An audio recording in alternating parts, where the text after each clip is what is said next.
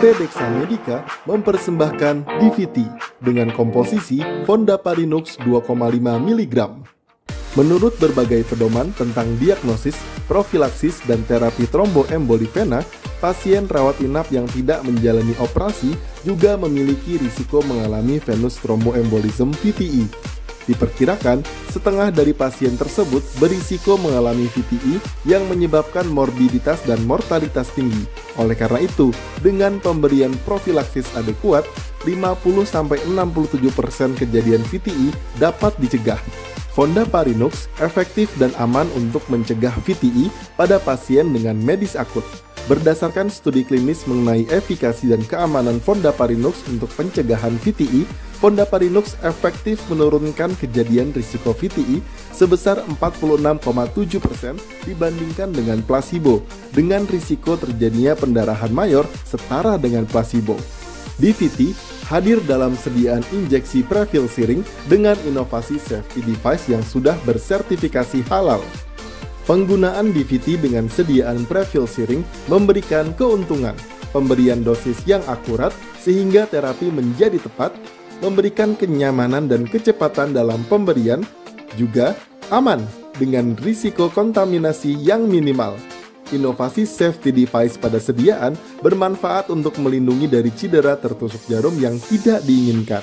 Previl siring DVT dengan kandungan Fondaparinux merupakan pentasakarida sintetis yang lebih efektif mencegah VTI dibandingkan dengan enoxaparin Selain itu, pencegahan VTI dengan Fondaparinux lebih praktis dengan pemberian dosis cukup satu kali sehari. DVT, DV trombosis.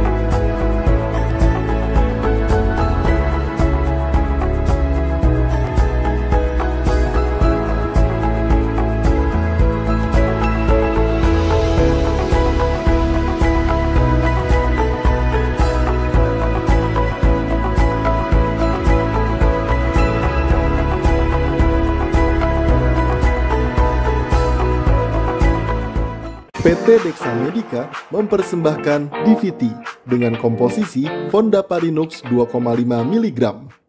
Menurut berbagai pedoman tentang diagnosis, profilaksis, dan terapi tromboemboli vena, pasien rawat inap yang tidak menjalani operasi juga memiliki risiko mengalami venous thromboembolism VTE. Diperkirakan, setengah dari pasien tersebut berisiko mengalami VTE yang menyebabkan morbiditas dan mortalitas tinggi. Oleh karena itu, dengan pemberian profilaksis adekuat, 50-67% kejadian VTE dapat dicegah. Fonda Parinux efektif dan aman untuk mencegah VTE pada pasien dengan medis akut. Berdasarkan studi klinis mengenai efikasi dan keamanan Fondaparinux untuk pencegahan VTE, Fondaparinux efektif menurunkan kejadian risiko VTE sebesar 46,7% dibandingkan dengan placebo, dengan risiko terjadinya pendarahan mayor setara dengan placebo. DVT hadir dalam sediaan injeksi prefil siring dengan inovasi safety device yang sudah bersertifikasi halal. Penggunaan DVT dengan sediaan prefil siring memberikan keuntungan, pemberian dosis yang akurat sehingga terapi menjadi tepat, memberikan kenyamanan dan kecepatan dalam pemberian, juga aman dengan risiko kontaminasi yang minimal inovasi safety device pada sediaan bermanfaat untuk melindungi dari cedera tertusuk jarum yang tidak diinginkan. Previl siring DVT dengan kandungan fondaparinux merupakan pentasakarida sintetis yang lebih efektif mencegah VTE dibandingkan dengan enoxaparin. Selain itu, pencegahan VTE dengan fondaparinux lebih praktis dengan pemberian dosis cukup satu kali sehari. DVT, DV thrombosis.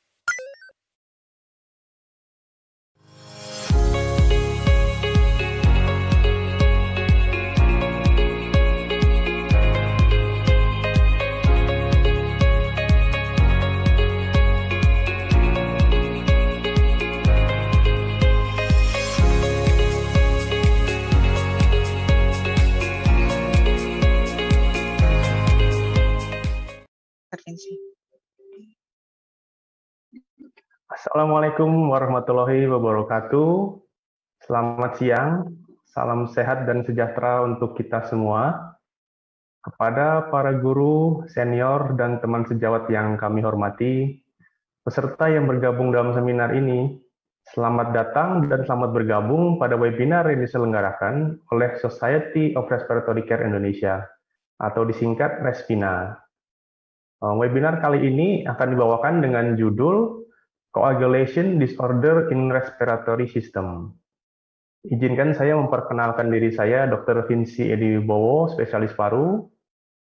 Siang ini sudah bergabung bersama kita ada Wakil Ketua Respina, Dr. Yulvina Jamil, spesialis telinga hidung tenggorok, kepala leher konsultan, serta ada kumpulan pembicara yang cukup terkenal, ada tiga pembicara yang membawakan webinar kali ini. Yang pertama ada Dr. Tuntas Danardono, spesialis forensik dan mediko legal. Kemudian yang kedua ada Dr. Dr. Elina Burhan, spesialis paru konsultan. Dan yang terakhir ada Dr. Dian Zamroni, spesialis jantung dan pembuluh darah konsultan. Kami ucapkan terima kasih atas ketersediaannya untuk hadir meluangkan waktu dan berbagi ilmu selama kurang lebih dua jam ke depan. Ya, meskipun ini jam-jam ngantuk setelah makan siang. Dan ini terakhir untuk peserta, kami ingatkan agar mengisi post-test di akhir webinar pada tombol hijau di bawah. Di bawah ini ada tersedia tombol hijau itu sebagai syarat untuk mendapatkan sertifikat. Untuk pertanyaan bisa ditulis pada kolom komentar juga di bawah sini. Baik, untuk mempersingkat waktu, kita akan mendengarkan sedikit sambutan dari Dr. Yulvina Jamil sebagai oh, Wakil Ketua Respina.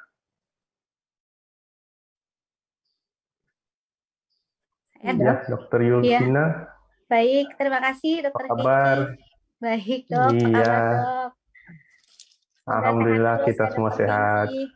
Ya. Amin. Baik, Dokter Ya, untuk sambutannya saya persilahkan Dokter Yovina. Baik, terima kasih sekali Dokter Vinci. Uh, yang saya hormati Profesor, uh, Founder, dan uh, teman-teman, teman sejawat yang hadir pada hari ini. Uh, pertama-tama saya pengen uh, mengucapkan puji dan syukur kehadirat Allah Subhanahu wa taala yang telah memberikan kesehatan dan waktu yang bermanfaat untuk kita sehingga kita bisa berkumpul dalam webinar daring dan hari ini dengan judul uh, Coagulation Disorder in the Respiratory System. Uh, saya mengucapkan terima kasih pada penitia Respina yang sudah uh, berusaha keras untuk uh, terwujudnya acara ini dan uh, sebagaimana yang kita ketahui bahwa webinar ini merupakan webinar salah satu bagian dari webinar series dan hari ini adalah webinar yang ke-11 ya dan uh, saya juga mengucapkan terima kasih nih kepada Dr. Kinci yang jadi moderator terus kepada pembicara-pembicara uh, Dr. Tuntas, Dr. Elna Burhan, dan Dr. Dian Zamroni yang pastinya hari ini akan memberikan materi yang menarik dan akan berbagi pengalaman tentang tata laksana pasien-pasien dengan gangguan koagulasi di saluran nafas ya. Sebagaimana yang kita ketahui bahwa Respina merupakan uh, organisasi keseminatan dalam uh, saluran nafas beranggotakan berbagai profesi paru, THT, kardiologi, rehab medis, neurologi, anestesi, radiologi, dan yang terakhir bergabung di kita adalah dari bagian oksigen juga. Ya, dan saya mengucapkan mewakili panitia mengucapkan selamat bergabung dalam webinar ini dan saya berharap bahwa kita akan punya webinar series yang lainnya yang akan memberikan manfaat terus untuk uh, para dokter dan tentunya untuk pasien-pasien kita. Dan uh, terlebih dan terkurang dalam pelaksanaan uh, webinar ini kami mohon maaf sebelumnya. Dan saya mengucapkan uh, terima kasih kepada ibu bapak uh, peserta yang hadir pada hari ini. Karena tanpa ibu bapak pasti seminar ini akan terasa hampa sekali. Uh, terima kasih dari saya dan saya mengucapkan uh, selamat mengikuti webinar ini. Assalamualaikum warahmatullahi wabarakatuh. Waalaikumsalam warahmatullahi wabarakatuh. Terima kasih Dr. Yulvina.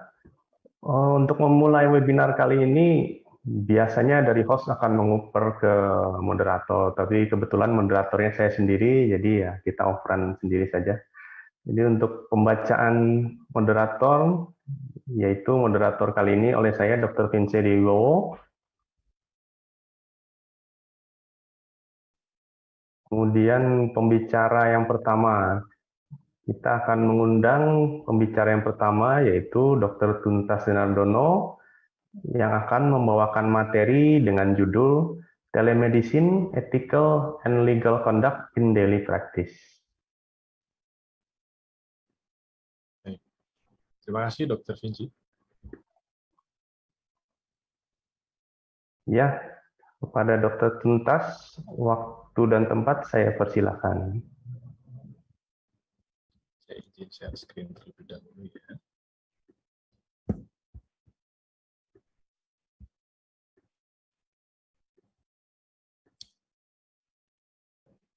Pertama-tama saya mengucapkan uh, banyak terima kasih kepada Respina, terutama Dr. Yulvina Jamil yang telah mengundang saya untuk berbagi di forum yang terhormat ini. Uh, demikian juga terima kasih Dr. Vinci yang sudah memimpin webinar siang hari ini. Yang terhormat juga para guru besar, dokter, sejawat yang hadir dan mengikuti webinar ini. Izinkan saya untuk sedikit berbagi berkaitan dengan topik uh, etika dan hukum yang berkaitan dengan pelayanan telemedicine di dalam kehidupan sehari-hari kita, terutama dalam praktek kedokteran. Baik, uh, seperti kita ketahui bahwa dengan berkembangnya uh, ilmu teknologi, ya, perkembangan internet, akses di mana pun Eh, di dunia ini, termasuk di Indonesia, ini akan merubah banyak uh, bagaimana perilaku manusia dalam kehidupan sehari-hari. Ya, baik itu berinteraksi, berkomunikasi, berbagi uh, berita, ya, terutama juga dalam akses-akses uh, informasi dan pengetahuan.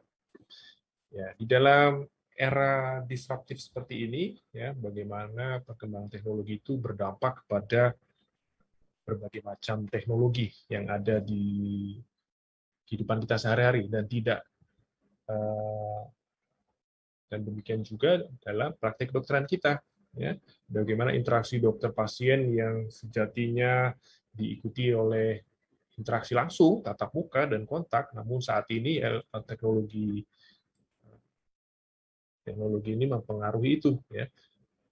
Ditambah lagi saat ini kita berhadapan dengan situasi pandemi, ya, masih belum mungkin belum selesai, mas. Mudah-mudahan tidak ada peningkatan kasus, tapi itu mempengaruhi lebih jauh lagi, ya. Perkembangan dunia teknologi semakin pesat dan semakin berdampak dalam kehidupan sehari-hari, terutama seperti kita saat ini sedang dalam forum webinar, ya. Nah, secara konvensional pada umumnya eh, pasien akan datang ke dokter ya uh, untuk memeriksakan keluhan dan uh, rasa sakit yang dia hadapi ya. Tapi dengan perkembangan teknologi tadi banyak metode yang akhirnya berupaya dikembangkan dan memfasilitasi kesenjangan-kesenjangan yang ada ya terkait dengan jarak, terkait dengan uh, waktu ya di mana diharapkan pada saat itu pasien ingin segera mendapatkan penanganan atau mendapatkan jawaban dari eh, keluhan yang dia rasakan saat itu. Ya. Nah, dan ini pun ditangkap oleh eh, banyak perusahaan-perusahaan, oleh pengembang teknologi, ya, memfasilitasi untuk mendapatkan eh, momentum tersebut gitu ya. Nah, akan tetapi kita ketahui ternyata dalam praktek kedokteran ini sangat di diberi dampak yang besar dari sisi etik dan hukum ya tidak semudah itu dalam konteks perkembangan teknologi seperti kita lihat dalam akses uh, transportasi online atau perdagangan online tapi praktek online ini kan tidak semudah itu.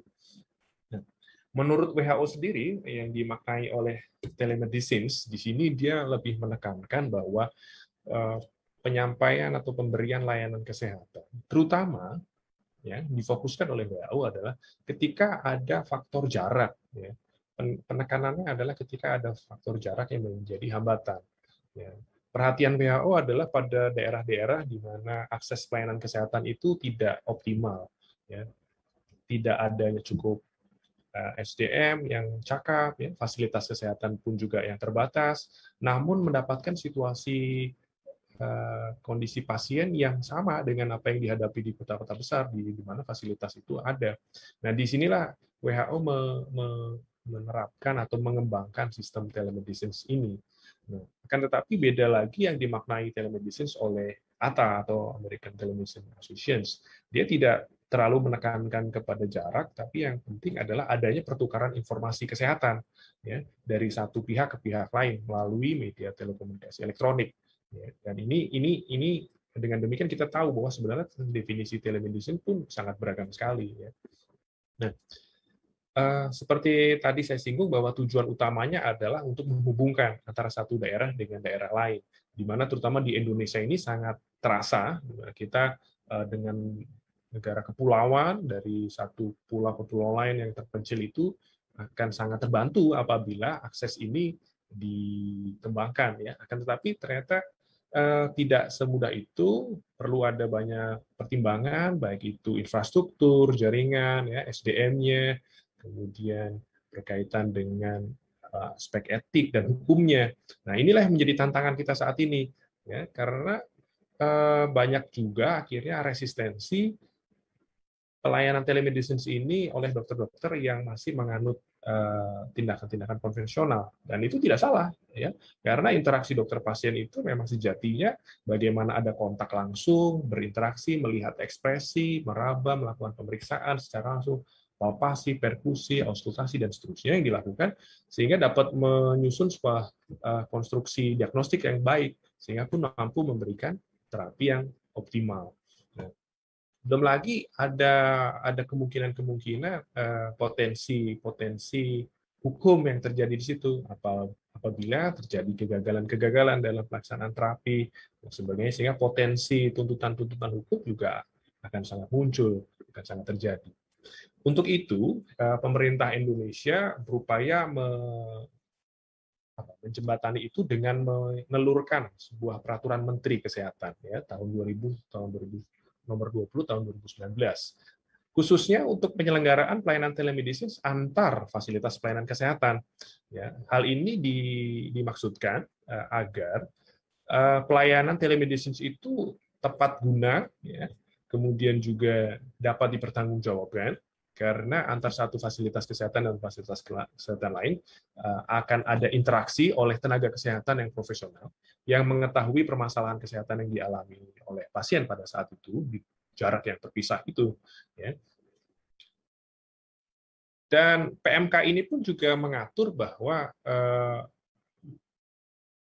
keadaan ini mempertimbangkan situasi di Indonesia yang sedemikian rupa. Tadi secara geografis dan demografis kita terpisah oleh jarak yang sedemikian rupa. Sehingga layanan antar fasilitas kesehatan dari tempat satu yang uh, lengkap ya dengan tempat yang lain itu dapat terjangkau ya. Dan beberapa layanan-layanan yang saat ini sudah berjalan dan saya kira sudah ada yaitu berkaitan dengan teleradiologi misalnya bagaimana ketika satu dokter di tempat tertentu ya ingin melakukan konsultasi kepada dokter ahli lain di tempat lain melalui gambaran-gambaran radiologi yang dikirimkan melalui media elektronik ya demikian juga teleelektrokardiografi tele eh, maupun telekonsultasi klinis. Dan semuanya ini diharapkan dapat di, dijalankan di, di fasilitas kesehatan satu dengan kesehatan lain.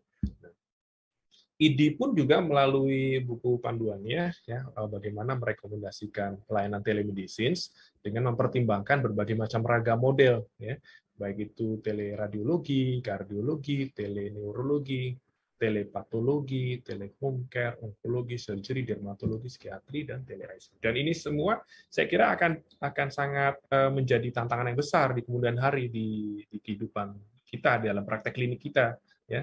Eh, terutama eh, pelayanan-pelayanan ini diharapkan untuk memberikan atau meningkatkan outcome yang terbaik untuk pasien. Seperti kita ketahui, hubungan dokter pasien itu ternyata suatu interaksi yang sangat spesifik sangat khusus di kental dengan nuansa etik dan hukumnya ya kita diajarkan oleh guru-guru kita turun temurun bahwa interaksi antara dokter dan pasien itu patut dibina dijalin dengan baik supaya ada trust ada kepercayaan dari pasien kepada dokternya dan interaksi ini akan juga sangat meningkatkan output yang terbaik dari pasien ya ketika kita menggunakan uh, platform atau menggunakan layanan telemedicine relasi ini bisa sangat dipengaruhi, ya, bisa sangat berdampak. Ya, karena kita tidak bisa la langsung melihat atau menilai ekspresi atau keadaan pasien saat itu juga. Ya, hanya berdasarkan dari uh, secara virtual saja. Ya, meskipun demikian banyak upaya untuk dikembangkan bagaimana me mengurangi ya, mengurangi gap-gap yang tadi ada ya beberapa perusahaan teknologi berupaya mengembangkan platform-platform ini dan ini pun saya kira sudah bukan keniscayaan lagi, tapi kenyataan yang ada di mata kita saat ini di hadapan mata kita bahwa ini ada ya terjadi. Dan pemerintah Indonesia ini semakin me melihat bahwa keadaan ini semakin krusial ketika kita berhadapan situasi pandemi COVID. Ya. Dan pandemi COVID ini pelayanan telemedicine lebih digunakan untuk melakukan pencegahan penularan. Ya. Dengan demikian secara proaktif disusunlah beberapa panduan-panduan dan guidance ya, terutama untuk me, me, memberi pedoman kepada tenaga medis dalam menjalankan praktek kedokterannya. Ya, bagaimana kita melakukan praktek kedokteran melalui jarak jauh karena PMK yang sebelumnya itu tidak terlalu uh, melihat situasi yang ini gitu ya. Belum belum tahu ketika kita ternyata harus situasi pandemi ini ada layanan-layanan telemedicine yang ternyata belum diatur ya terutama melalui aplikasi-aplikasi media sosial aplikasi-aplikasi telemedicine. Ya beberapa layanan yang sebaiknya tidak dilakukan di antaranya yang terutama pertama adalah telekonsultasi antara tenaga medis dengan pasien secara langsung tanpa melalui fasiankes. Saya kira ini pertimbangannya akan sangat banyak dan ini di bawah itu menjadi salah satu pertimbangan juga. Kenapa nggak boleh langsung? Ya karena kita ingin menjaga marwah profesi yang luhur untuk seorang dokter itu. Nah, lalu bagaimana nih kalau kita berhadapan dengan situasi nanti post-COVID? Apakah ini akan tetap dipertahankan atau kita akan menghadapi situasi yang dilematis? Ya. Beberapa studi, terutama di Amerika, sudah melihat situasi ini akan berdampak ya, terutama eh, berkaitan dengan cost effectiveness-nya, bahwa pembiayaan itu bisa lebih direduksi karena uh, tindakan lebih lebih tepat, rujukan juga lebih berkurang, ya. Terutama juga untuk mencegah adanya keterbatasan uh, profesional, uh, dokter spesialis di daerah-daerah yang terpencil, gitu ya. Ya kerugiannya di antaranya ya karena tadi telemedicine ini membutuhkan resource yang besar, membutuhkan uh, perhatian terhadap keamanan data, profesi dan konfidensialitasnya juga, dan termasuk juga faktor tuntutan-tuntutan hukum dan uh, resistensi dari beberapa tenaga medis yang memang merasa traditional examinations itu masih lebih yang utama dan itu memberi output yang lebih baik. Nah, saat ini yang kita hadapi dalam praktek sehari-hari kita, kita tidak menutup mata, banyak juga pengembangan aplikasi-aplikasi berbasis aplikasi ya pelayanan kesehatan berbasis aplikasi yang itu belum ada dasar hukumnya ya karena PMK 20 tadi lebih mengatur bagaimana Eh, pelayanan telemedicine antar fasilitas kesehatan. Namun demikian pun kita tetap harus memperhatikan Kodeki 2012 pasal 2 bahwa seorang dokter wajib selalu melakukan pengambilan keputusan profesional secara independen dan mempertahankan perilaku profesional dalam ukuran yang tertinggi. Apa itu ukuran yang tertinggi? Bahwa pengambilan keputusan itu setelah melakukan pemeriksaan dan penilaian yang teliti terhadap pasien dengan menggunakan standar pedoman pelayanan kedokteran yang telah diakui secara sah. Ya. Jadi secara etik ini memang punya punya uh, uh, potensi dilematis ya ketika kita uh, menerapkan layanan telemedicine berbasis aplikasi maupun uh, health facility ini ya. Seperti kita ketahui, praktek kedokteran sendiri memiliki nilai-nilai uh, azas-azas yang sangat kental, baik itu nilai ilmiahnya, azas manfaat, keadilan, kemanusiaan, keseimbangan, maupun perlindungan dan keselamatan. Dan ini tidak boleh tidak kita lupakan. Nah, praktek kedokteran itu sendiri secara uh, legal pun diatur bagaimana di, harus dipenuhi standar-standar pelayanannya. Ya, setidaknya uh, harus memperhatikan pedoman nasional pelayanan kedokteran. Apakah ada SPO-nya? Bagaimana apakah telanan medisis ini baik itu berbasis aplikasi maupun fasilitas kesehatan itu sudah mengusung uh, ini standar pelayanan yang yang dapat menjadi acuan. Kenapa? Karena standar pelayanan ini diharapkan untuk memberikan jaminan kepada pasien untuk memperoleh pelayanan kedokteran yang berdasarkan nilai ilmiah tadi ya, sebagai azas dalam praktek kedokteran kita. Dan kedua dan utama juga harus perhatikan mempertahankan dan meningkatkan mutu pelayanan kedokteran ya karena ini adalah marwah profesi kita. Ya, apakah dengan uh, hanya interaksi langsung melalui virtual itu bisa dikatakan sebagai pelayanan kedokteran? Ya, apakah itu sebagai bentuk dari praktek kedokteran itu sendiri? Ya. Jadi kalau kita berkaca dari applications base uh, dari uh, dari berdasarkan dibandingkan dengan pelayanan berdasarkan fasilitas kesehatan tadi, applications base ini lebih lack of standard practice gitu ya. Kita nggak punya standarnya, juga regulasinya belum ada. Kalau antar fasilitas kesehatan sudah ada di PMK tadi, tapi untuk applications base belum ada. Ini resiko untuk tuntutan hukumnya sangat besar, keamanan data, kebocoran data, kemudian kalau ada tuntutan-tuntutan jika ada kegagalan dalam pemberian layanan terapi tadi ya dan secara etik pun juga sangat rentan gitu ya. Sehingga sebagai bentuk perlindungan hukumnya bahwa uh, kita melihat di Undang-Undang Praktek Kedokteran pasal 50 dan 51. Kita lihat di pasal 50 terkait dengan hak dokter. Dokter itu punya hak untuk memperoleh perlindungan hukum sepanjang melaksanakan tugas sesuai dengan standar profesi dan standar prosedur operasional. Apabila kedua standar ini ternyata tidak ada ataupun tidak dijalankan sesuai prosedur yang ada, apakah perlindungan hukum itu bisa masih dapat ditegakkan? Nah, ini monggo kita jawab dengan hati nurani masing-masing ya, eh, karena melihat situasi yang saat ini juga eh, perkembangan di teknologi itu sangat cepat, namun eh, perkembangan untuk aturan-aturan, pedoman-pedomannya ya kadang masih tertinggal di belakang. Dan eh, dokter juga punya hak untuk memberikan layanan sesuai standar, demikian juga kewajibannya memberikan pelayanan sesuai standar. Dan inilah yang harus menjadi perhatian kita bersama. Karena kalau berkaca di pasal 66 di UPK juga, setiap orang yang mengetahui atau kepentingan dirugikan atas tindakan dokter dalam jalan praktek dapat mengadukan secara tulis kepada MKDKI. Ya. Kalau dalam layanan telemedicine tadi merasa dirugikan, itu sudah hak pasien juga. Dan jangan lupa di ayat ketiganya juga ada uh, hak yang dimiliki oleh setiap orang pengaduan ini melalui jalur hukum, baik itu tuntutan pidana maupun gugatan melalui perdata. Ya. Jadi sangat sangat uh, kental sekali nuansa hukumnya dalam layanan telemedicine.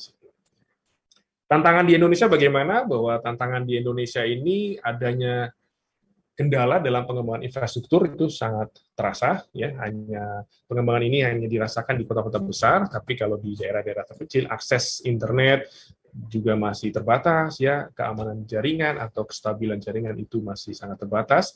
Oke oleh karena itu akan sangat berdampak juga bentuk-bentuk layanan telemedicine apa yang akhirnya hanya bisa diberikan. Ya, apakah sejauh telekonsultasi saja ataukah bisa ke bentuk telemedicine yang lebih tinggi?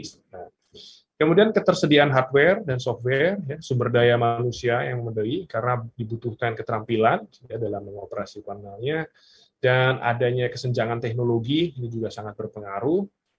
Yang penting adalah adanya regulasi yang mengatur masalah hukum etik. Nah, ini yang masih kosong, gitu ya. Ini masih kosong, sangat berpotensi eh, besar di kemudian hari ini akan muncul, gitu ya.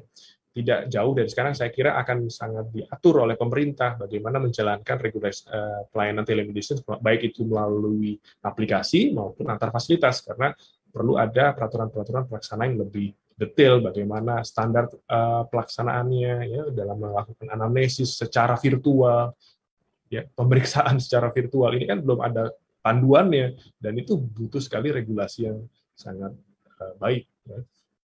masalah autentifikasi ya bagaimana kita tahu bahwa yang kita hadapi itu adalah pasien dan bagaimana pasien bisa tahu kalau yang kita hadapi itu juga adalah seorang dokter dokter yang sesungguhnya seorang dokter gitu hanya bukan hanya uh, statusnya aja tapi benar-benar seorang tenaga kesehatan. Ya, bagaimana pertanggungjawaban hukumnya kalau ternyata itu tidak sesuai dengan eh, pihak-pihak yang bersangkutan. Bagaimana terkait dengan privasi dan keamanan data, informasi medis yang dituangkan dalam eh, sistem telemedicine itu, siapa yang punya tanggung jawab untuk melindungi dan menjaganya. Ya. Dan berkaitan juga dengan rekam medis yang akan mengisi, di, diisi berkaitan informasi kesehatan dituangkan di situ. Ya, siapa yang punya kewajiban melindungi dan bertanggung jawab terhadap dokumen-dokumen tersebut. Pembiayaan ini menjadi tantangan juga, ya meskipun di beberapa negara pelayanan telemedicine ini diakui oleh ya, pihak asuransi, ya karena dengan asuransi eh, pelayanan telemedicine ini lebih mereduksi cost-nya. Kedelapan adanya kualitas data dan pelayanan, ya, bagaimana kita bisa memberikan terapi kepada pasien hanya berdasarkan keluhan, gitu ya.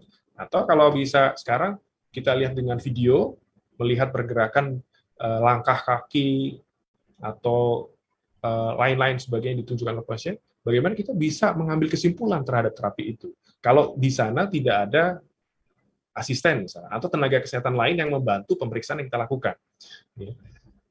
Ya. Yang ke-9 bahwa hubungan antar pasien dan tenaga kesehatan otomatis akan berdampak ya seperti kita lihat tadi di awal interaksi dokter pasien itu akan terbentuk trust dan eh, komunikasi yang baik ketika ada interaksi langsung tatap muka, melihat rasa nyeri dan kita empati yang dimunculkan di situ ya. Bagaimana kita bisa menilai keluhan-keluhan, rasa sakit yang dialami pasien pada tubuh pasien. Dan ini juga akan berdampak juga antar komunikasi dengan tenaga kesehatan. Ya. Jadi yang menjadi poin dan perlu kita perhatikan bahwa dalam layanan telemedicine ini sampai detik ini yang perlu kita pahami bahwa layanan telemedicine relevan adalah sebagai pendukung, ya. pendukung dalam tindakan medis kita, ya. bukan menjadi utama bukan menjadi faktor utama, tapi suportifnya.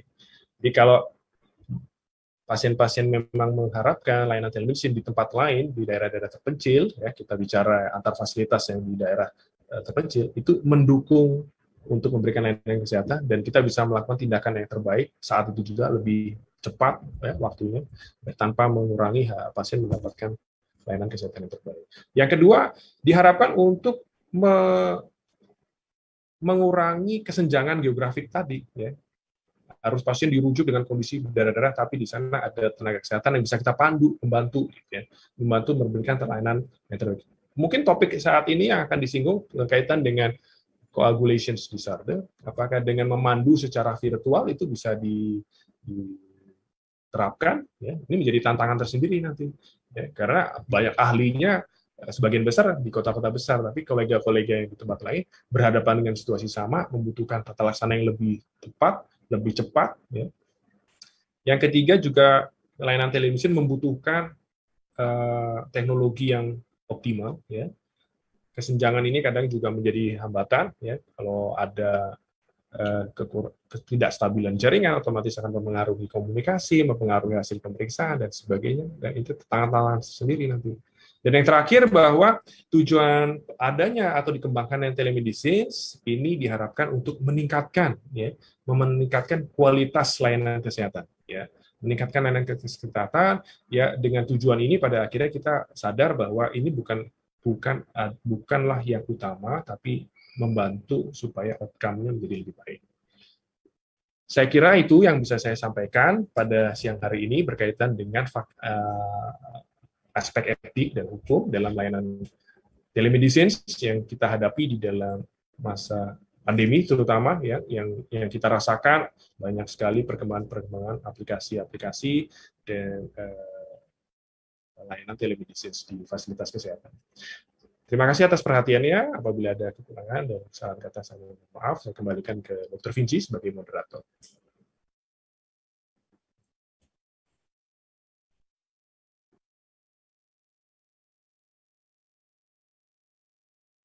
Eh, kita lanjut ke sesi tanya jawab, mungkin langsung eh, ke dokter tuntas ya.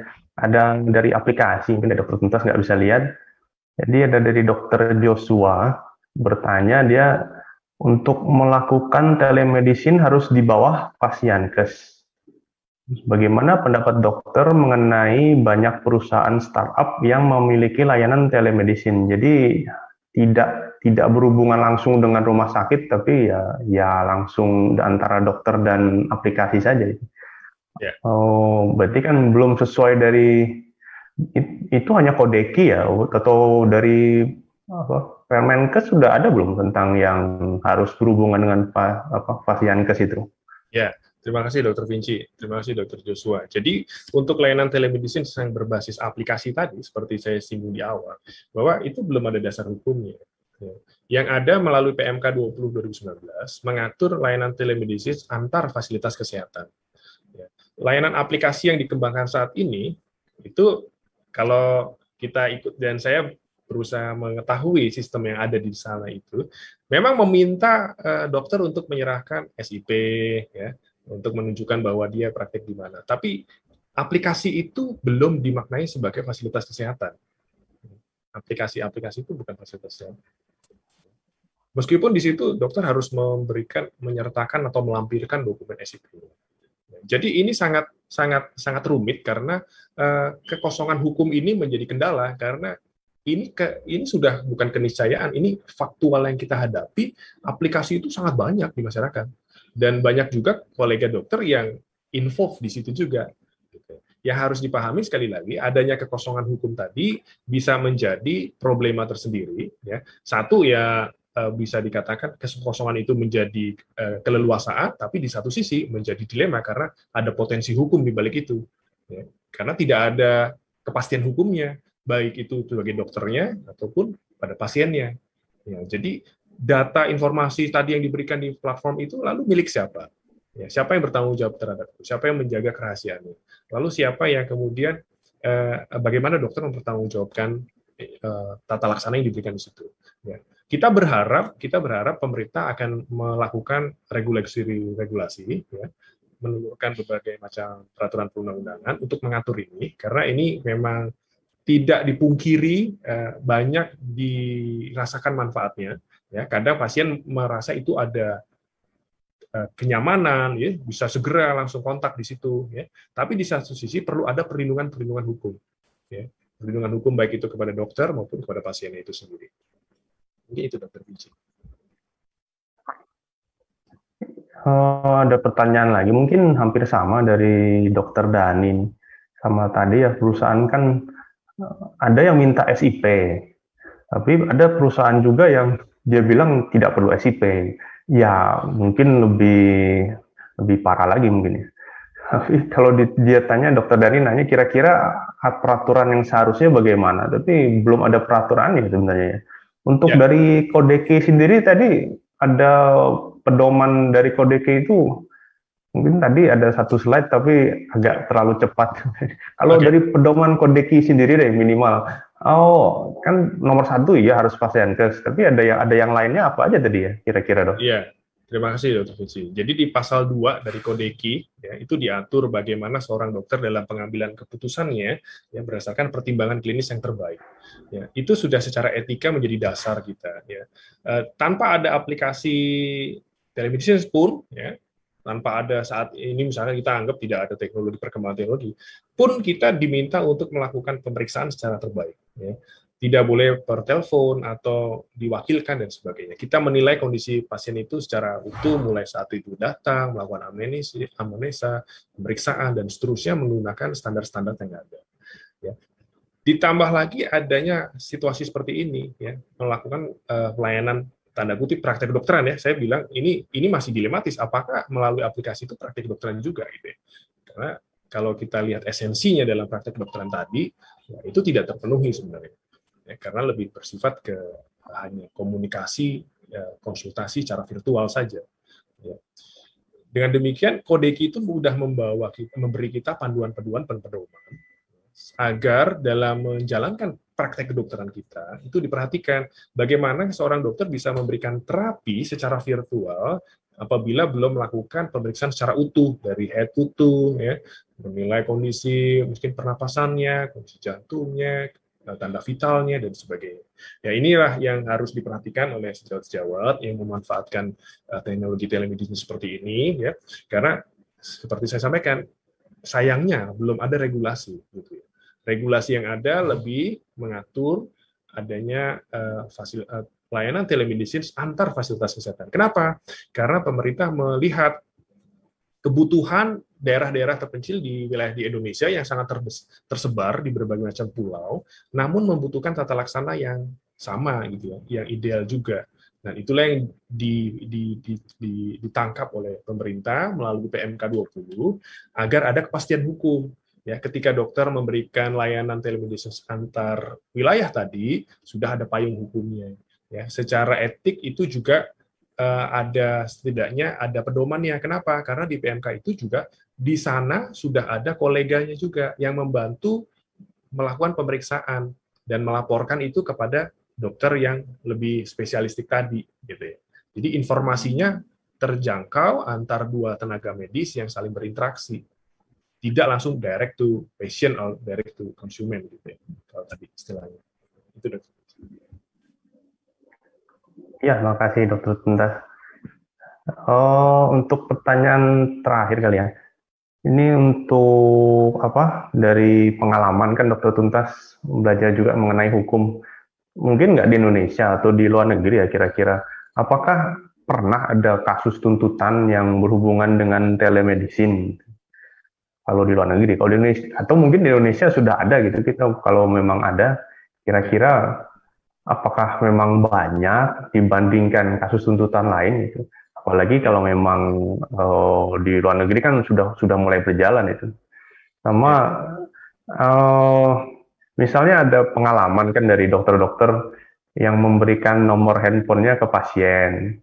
Ya biasanya kan pasien kadang-kadang suka bertanya lewat WA itu dok nih dari pasien yang kemarin ini kok keluhannya masih begini? gitu. Terus apa mau ditambahkan obat dia beli sendiri? gitu. Kira-kira oh, apa termasuk telemedicine misalnya itu kalau memang hubungan langsung dari WA ke WA antar dokter ya. pasien. Ya, ya. ya kalau kalau tadi berkaca ke definisi per definisi itu antara uh, center, antar institusi baik itu WHO dan atas saja, mereka sudah ada perbedaan ya. Kalau WHO lebih menekankan pada adanya distance ya, jarak antar wilayah, tapi kalau ATA itu tidak mempertimbangkan itu, yang penting adanya pertukaran informasi teknologi. Nah, jadi kalau yang dimaksudkan itu yang Dr. Vinci sampaikan itu bisa masuk bagian dari telemedicine juga ya eh, ketika kita berkomunikasi dengan pasien. Nah, tapi ketika yang disampaikan Dr. Vinci tadi eh, memberikan nomor telepon dan pasien berinteraksi di sana, setidaknya Dr. Vinci kan sudah melihat pasiennya dan itu diberikan untuk memberikan apa uh, uh, media ketika keluhan-keluhannya yang sudah diterapi Dr. Vinci tadi tidak ada perbaikan dan ingin mengkonsultasikan dengan Eh, secara langsung gitu ya karena faktor emergensi. Dan dokter Vinci tahu perjalanannya sebelumnya. Eh, hal-hal seperti itu masih dimungkinkan ketika tidak lebih tidak dalam hal eh, memberikan terapi-terapi tambahan lain atau apa yang sifatnya memperburuk atau dapat mempengaruhi kondisi klinisnya ya. Tapi ketika dokter Vinci menilai oh iya ini obatnya udah diberikan ternyata ini enggak oh ya nanti saran-saran yang diberikan oleh dokter Vinci melalui situ, baik kalau gitu nanti bisa konsultasi atau datang ke fasilitas terdekat untuk melihat kondisinya lebih baik dan sebagainya. Ya karena dokter Vinci tahu perjalanannya, ya. melihat langsung sebelumnya. Oke. Beda dengan aplikasi yang kadang kita random aja, daftar ke dokter ini pengen ketemu dokter Vinci, nggak tahu sebelumnya pasiennya siapa, ini tadinya perjalanannya gimana, sakitnya apa dan sebagainya. Ya ini yang menjadi uh, kesulitan kita saat ini. Nah, berkaitan dengan tuntutan hukum, saat ini memang belum nyata ya ada, tapi potensi itu sangat besar sekali. Ya, ketika masyarakat merasa uh, ya saat ini masyarakat memilih sendiri untuk me, me, me, me, mengikuti uh, fasilitas telemedicine ya uh, melalui platform-platform aplikasi itu ya, karena di satu sisi masyarakat merasa nyaman gitu ya langsung nggak perlu jalan-jalan keluar langsung aja lewat di kamar duduk-duduk buka aplikasi bisa ngobrol-ngobrol sama dokter gitu ya. Di satu sisi pasien merasa nyaman itu ada convenience memang ya. Dengan demikian nah ini yang perlu menjadi ada apa ya ada jembatannya ya. Di satu sisi bagaimana mengatur layanan ini uh, memberikan kepastian hukum kepada dokter dan pasien juga kenyamanan bagi kedua belah pihak. Oke, terima kasih Dokter Tuntas. Berhubung waktu sudah habis, Baik, terima, uh, kasih. terima kasih. Boleh undur diri. Terima kasih Dokter Vinci. Kita, iya, terima kasih Dokter Tuntas. Kita berlanjut ke pembicara kedua yang akan dibawakan oleh Dokter Erlina Burhan dengan judul The Association Between Blood Coagulation and Lung Function. Kepada Dokter Erlina Burhan, saya persilakan dok.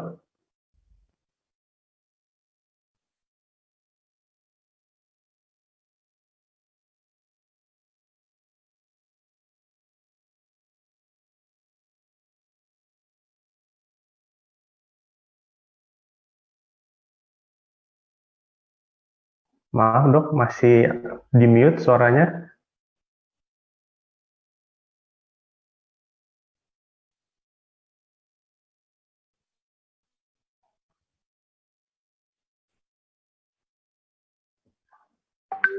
Ya, apakah sudah terdengar? Iya, sudah terdengar, dok. Ya, baik. Terima kasih kepada Resmina, kepada panitia yang meminta saya berbicara mengenai uh, hubungan antara uh, blood coagulation dan uh, fungsi paru. Ya, sebelumnya saya ingin menyapa uh, para peserta. Assalamualaikum warahmatullahi wabarakatuh. Selamat sore semuanya. Mudah-mudahan acara kita ini, kegiatan edukasi ini bermanfaat buat kita semua. Ya, jadi kalau kita melihat uh, tentang koagulasi pada darah ini dimulai dari cedera yang terjadi pada pembuluh darah, maka ini ada tiga cara yang kemudian akan memungkinkan eh, terjadi suatu sumbatan yang eh, hemostatik plak yang stabil.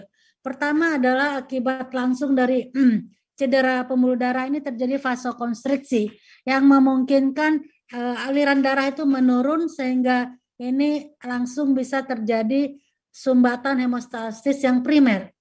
Namun uh, di uh, injury atau cedera dari pembuluh darah ini juga memungkinkan terjadinya uh, adesi platelet dan uh, aktivasi dari platelet yang ada tiga yang terjadi. Pertama uh, mengeluarkan serotonin yang kemudian juga uh, mengikuti kaskade vasokonstriksi dan ujung-ujungnya adalah stable hemostatic plaque dan tetapi juga kemudian uh, membuat agregasi platelet yang meningkat dan ini juga menyebabkan uh, sumbatan hemostatis yang primer.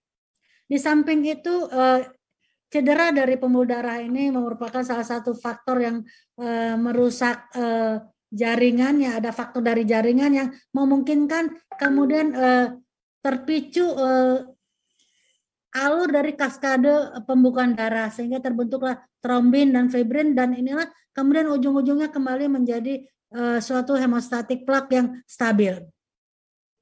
Ya, kalau kita lihat lebih dalam lagi tadi uh, terjadi kerusakan pada endotel dari vaskular maka ini uh, membuat kemudian platelet teraktivasi dan bergerak ke lokasi kerusakan dan ini kemudian ujung-ujungnya akan menghasilkan fibrin dan mulailah kaskade koagulasi atau pembekuan. Di sini yang yang mengakibatkan terjadi aliran darah yang berkurang dan juga kaskade fibrinolitik terganggu sehingga saya sampaikan tadi maka ini akan terjadi kondisi fibrin stabilized platelet plaque. Dan ini tentu saja endpointnya adalah terjadi kerusakan di berbagai organ atau sistem tergantung dari lokasi dari uh, sumbatan atau uh, damage dari endotelial uh, vaskuler ini. Ya. Ada berbagai faktor yang mempengaruhi pembekuan darah, ada yang kita kenal sebagai uh, triad dari Virchow dan ini pertama adalah uh, tadi sudah disebutkan terjadi damage dari endotel ini dan ini biasanya disebabkan oleh uh, kebiasaan, kebiasaan merokok dan juga kondisi uh, penyakit atau komorbid seorang seperti hipertensi. Ini akan menimbulkan uh, endotelial yang Eh, terganggu fungsinya atau dysfunction endotelial. Dan ada juga eh, kerusakan endotelial ini terjadi karena suatu tindakan seperti tindakan bedah, kemudian pemasangan kateter dan juga bisa karena trauma. Selanjutnya uh, triad dari Virchow inilah uh, hiperkoagulability. Jadi kemungkinan untuk terjadi hiperkoagulan ini bisa ada dua. Pertama di, di apa namanya diturunkan jadi sifatnya lebih ke arah genetik misalnya ada kelainan pada faktor 5, kelainan pada trombo, uh, protrombin dan juga defisiensi dari protein C dan S. Ini juga uh, kemudian bisa memungkinkan terjadi hiperkoagulasi dan ini juga bisa terjadi karena uh, bukan diturun bukan genetik sifatnya tetapi acquired atau didapat. Nah, ini bisa terjadi pada orang-orang dengan kondisi mengalami atau menderita kanker, kemoterapi, ya, kemudian yang uh, menjalankan replacement terapi, orang yang sedang hamil, uh, obesitas dan juga heparin induced thrombosis ya. Dan yang ketiga adalah bahwa uh, terjadi kondisi ini karena pasien atau individual tersebut mungkin stasis saja kondisinya misalnya tirah baring yang lama atau immobility dan juga terdapat kondisi polisitemia dan ini tentu saja uh, akan dapat menimbulkan uh, yang pertama saya sebutkan tadi yaitu cedera dari endotelial.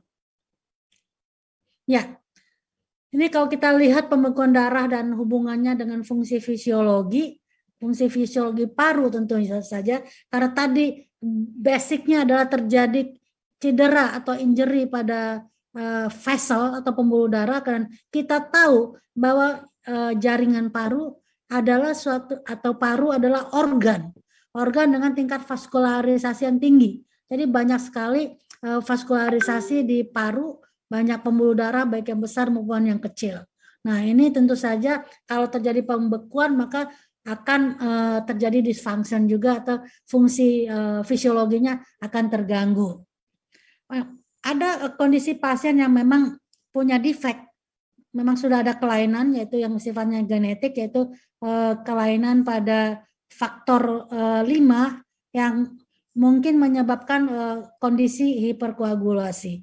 Ini ujung-ujungnya akan menimbulkan atau hilangnya volume detik pertama dari volume ekspirasi paksa detik pertama. Dan ini penurunan ini bisa terjadi sampai 30 cc per tahun. Nah, sebetulnya sebetulnya orang yang sehat juga itu meng, mengalami penurunan uh, volume ekspirasi paksa detik pertama, tapi jumlahnya tidak banyak. Uh, jumlahnya adalah 21 cc per tahun. Nah, bandingkan dengan pasien yang punya defek tadi, itu sekitar dua kali lipatnya, ya hampir dua kali lipatnya mengalami penurunan. Ya.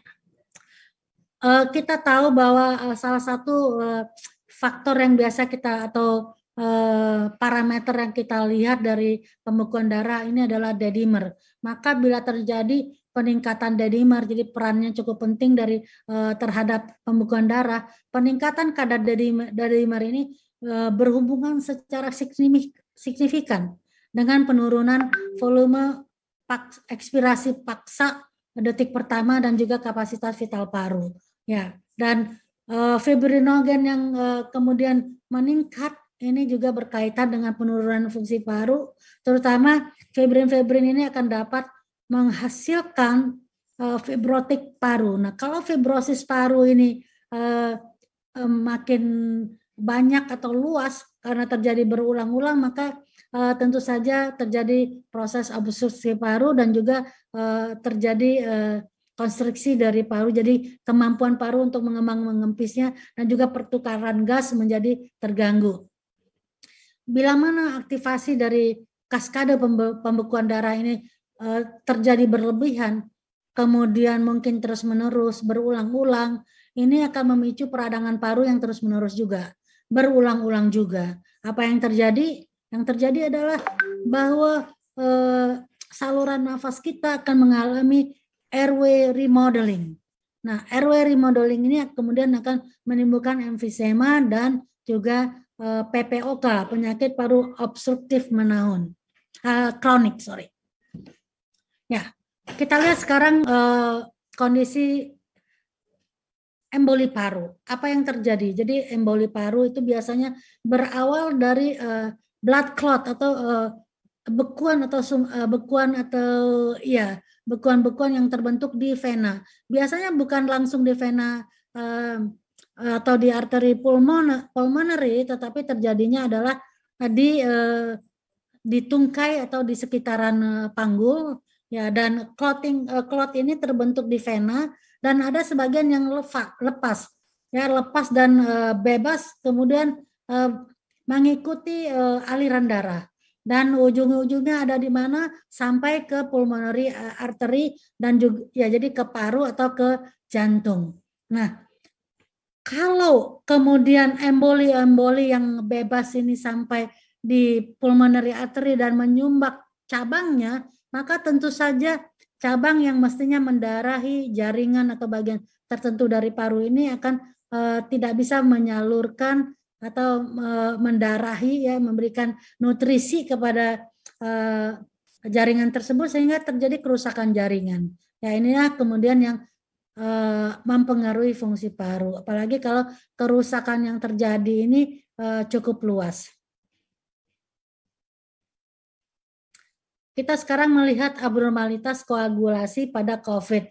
Kita tahu sekarang ini uh, mas uh, COVID ini salah satu yang sangat kita khawatirkan adalah terbentuknya trombosis akibat memang inflamasi yang terjadi. Apalagi kalau ternyata uh, severity dari penyakitnya cukup berat ya ataupun kritis ini badai sitokannya banyak terjadi, tidak teratasi dan tromboinflamasi ini terus terjadi, semua parameter uh, pembekuan darah uh, mengalami perubahan dan Eh, ini sangat-sangat kita takutkan karena berhubungan dengan mortalitas. Jadi memang uh, tromboinflamasi ini adalah salah satu faktor yang berkontribusi besar terhadap morbiditas dan juga mortalitas ya.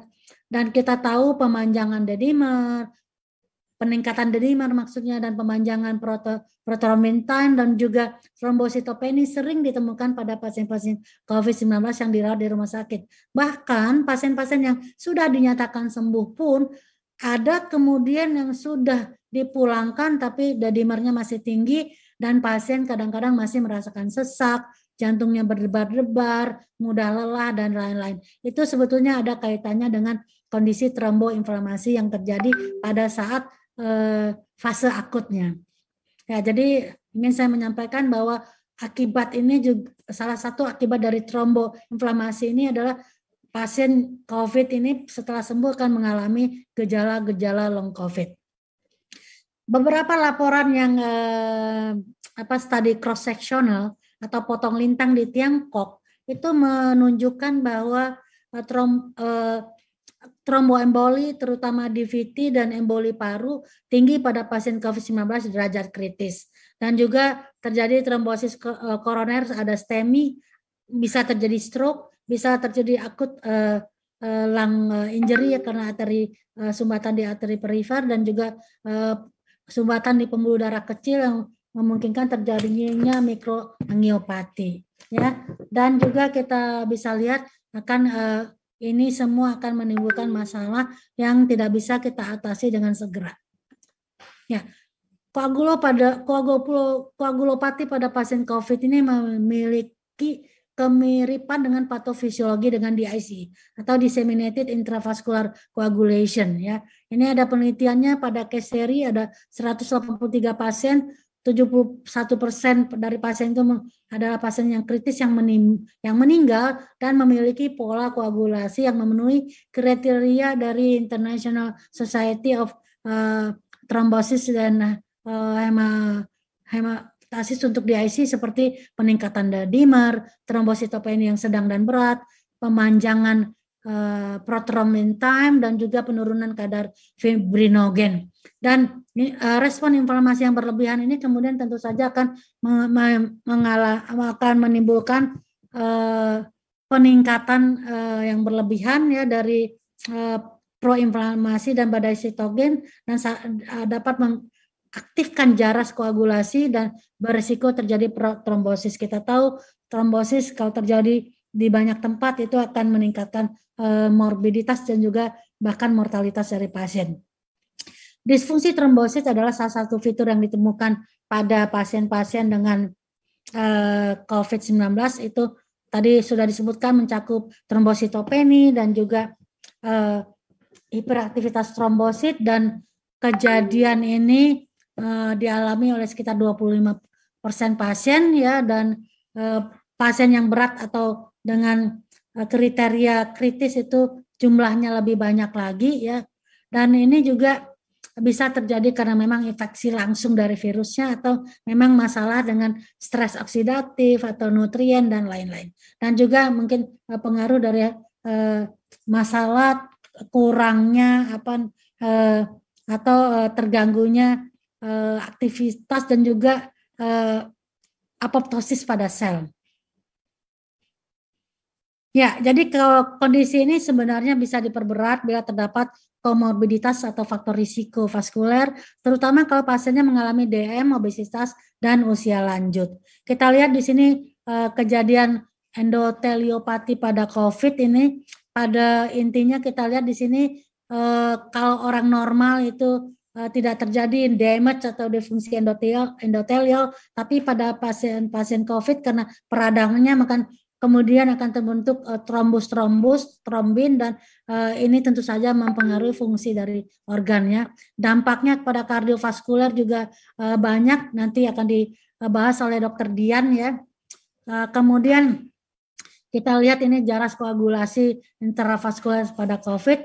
Tadi produksi sitokain lokal dan sistemik ini akan mengaktifasi trombosit dan interaksi dengan uh, Eh, produksi trombin dan deposit fibrin dan ujung-ujungnya tromboemboli. Maka eh, kalau kita melihat uh, jaras ini bisa dilakukan pemilihan obat-obat mulai dari antiplatelet seperti aspirin, clopidogrel dan lain-lain. Kemudian bisa diberikan juga apisaban, riforosaban dan lain-lain dan pemberian heparin juga sangat bermakna. Ada tiga bentuk heparin yang diberikan bisa unfracted uh, unfraction uh, heparin atau low molecular weight heparin atau fondaparinux dan juga dapat uh, uh, diberikan exogenous plasmigon tergantung dari uh, apa namanya uh, uh, kondisi pasiennya atau berat atau tidaknya. Kita lihat di sini uh, ada skala yang disebut dengan uh, CAHA yaitu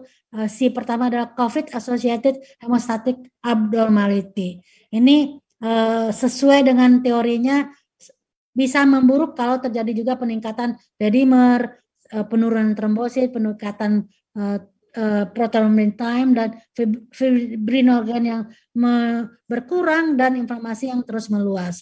Dan ini tentu saja kondisi ini mempengaruhi apakah pasien cukup dirawat di uh, ruang isolasi biasa atau ICU atau bahkan pada kondisi yang kritis perlu ECMO dan lain-lain. Ya ini adalah parameter yang membedakannya. Komplikasi dari trombosis yang paling banyak adalah deep vein thrombosis 46% diikuti dengan pulmonary emboli sekitar 24% dan kemudian uh, myocardial injury itu ada 20% dan yang juga berbahaya bisa menimbulkan stroke walaupun sedikit hanya 1,6 persen Uh, tapi sekarang kita masuk ya ke uh, masalah lung function yang terjadi karena uh, gangguannya karena koagulasi. Pertama adalah PPOK. Ya, PPOK ini adalah uh, terjadi karena inflamasi lokal dan sistemik dan kalau uh, memang trombosis terjadi pada pasien-pasien ini atau terjadi hiperkoagulasi maka ini akan memperberat PPOK yang terjadi ya. Apalagi misalnya dedimernya juga meningkat ya ini mortalitasnya akan naik lagi. Jadi memang infeksi sendiri jadi infeksi dan juga hiperkapni pada PPOK itu sudah mempengaruhi uh, lung function atau uh, fungsi paru. Nah ditambah lagi dengan kejadian-kejadian yang menimbulkan koagulasi atau uh, pembekuan darah atau trombosis ini. Maka PPOK-nya akan semakin memburuk dan tentu saja uh, faal parunya kalau dilakukan pemeriksaan spirometri tentu saja akan semakin menurun. Bagaimana dengan fibrosis paru? Nah, jadi tadi sudah dikatakan bahwa uh, salah satu akibat dari koagulasi ini adalah penumpukan fibrin-fibrin yang kemudian uh, dapat menimbulkan fibrosis paru dan fibrosis paru ini tentu saja akan mempengaruhi fungsi paru tetapi tergantung dari luasnya. Kalau luasnya tidak terlalu luas, biasanya fungsi paru tidak akan terlalu terganggu. Tetapi kalau terjadi perluasan yang um, cukup uh, uh, banyak, maka biasanya pasien uh, akan sangat-sangat terganggu kualitas hidupnya atau quality of life-nya oleh karena resi fibrotik yang terjadi ya. Jadi memang sangat hati-hati melihat Eh, faktor-faktor koagulasi atau kondisi-kondisi yang memungkinkan koagulasi ini terjadi kalau pasiennya memang sudah dari awalnya punya fibrosis paru. Contohnya pada pasien eh, IPF ya, pada pasien-pasien dengan idiopathic pulmonary fibrosis kalau awalnya sudah ada IPF, jangan sampai lagi ada kondisi-kondisi yang membuat eh, IPF-nya ini akan menjadi berat karena kemudian fungsi parunya terganggu, kualitas hidupnya juga terganggu. Jadi uh, pada IPF ini memang uh, ada kemungkinan terjadi deposit dari fibrin yang memungkinkan terjadi gangguan fibrinolisis dan itu tadi fibrotik akan mudah terjadi dan menjadi luas. Nah ini uh, apa deposit dari kolagen dan fibrosis ini akan sangat-sangat mempengaruhi fungsi paru. Jadi kalau ada pasien IPF dijaga jangan sampai ada kondisi penyakit apa pun yang membuat uh, fibrosisnya makin meningkat. Karena ini adalah kondisi yang irreversible ya. Terakhir saya ingin menyampaikan penelitian yang terbaru ini uh, data terbaru baru terbit tahun 2001 ya ingin apa apa jurnal ini ingin memperlihatkan bagaimana prevalence atau risiko atau outcome dari kondisi DVT, deep vein thrombosis eh, pada pasien-pasien dengan ARDS. Jadi ini data retrospektif memang eh, melihat pasien-pasien dewasa dengan ARDS tahun 2015 sampai 2021 ada 361 pasien ini ya. Eh, hasilnya adalah bahwa ternyata pasien-pasien ARDS ini 40% mengalami uh, uh, DVT ya. Kemudian juga DVT-nya meningkat seiring dengan bertambahnya usia. Jadi memang sesuai dengan teori kita tadi, usia, diabetes, dan juga obesitas ya. Pasien-pasien ARDS dengan kondisi DVT ini memiliki tingkat kelangsungan hidup yang lebih rendah dibandingkan dengan uh, pasien uh, tanpa kondisi DVT. Jadi uh, kita lihat bahwa prevalensi divisi ini tinggi ya tadi sesuai dengan hasilnya. Jadi ada kemungkinan 50% pada pasien DVT ini eh, mungkin tidak berobat sehingga terjadilah komplikasi dalam waktu tiga bulan. Yang dapat disimpulkan dari penelitian ini adalah bahwa prevalensi DVT sangat sangat tinggi dan pasien dengan ARDS akan memperburuk kondisi pasien. Selain itu diduga bahwa DVT merupakan faktor risiko yang meningkatkan kejadian kematian pada pasien ARDS di rumah sakit. Jadi oleh sebab itu DVT ini harus segera diatasi ya, jangan sampai eh, DVT, DVT pada pasien ARDS ini meningkatkan kematian. Terima kasih. Assalamualaikum warahmatullahi wabarakatuh. Saya kembalikan kepada uh, moderator.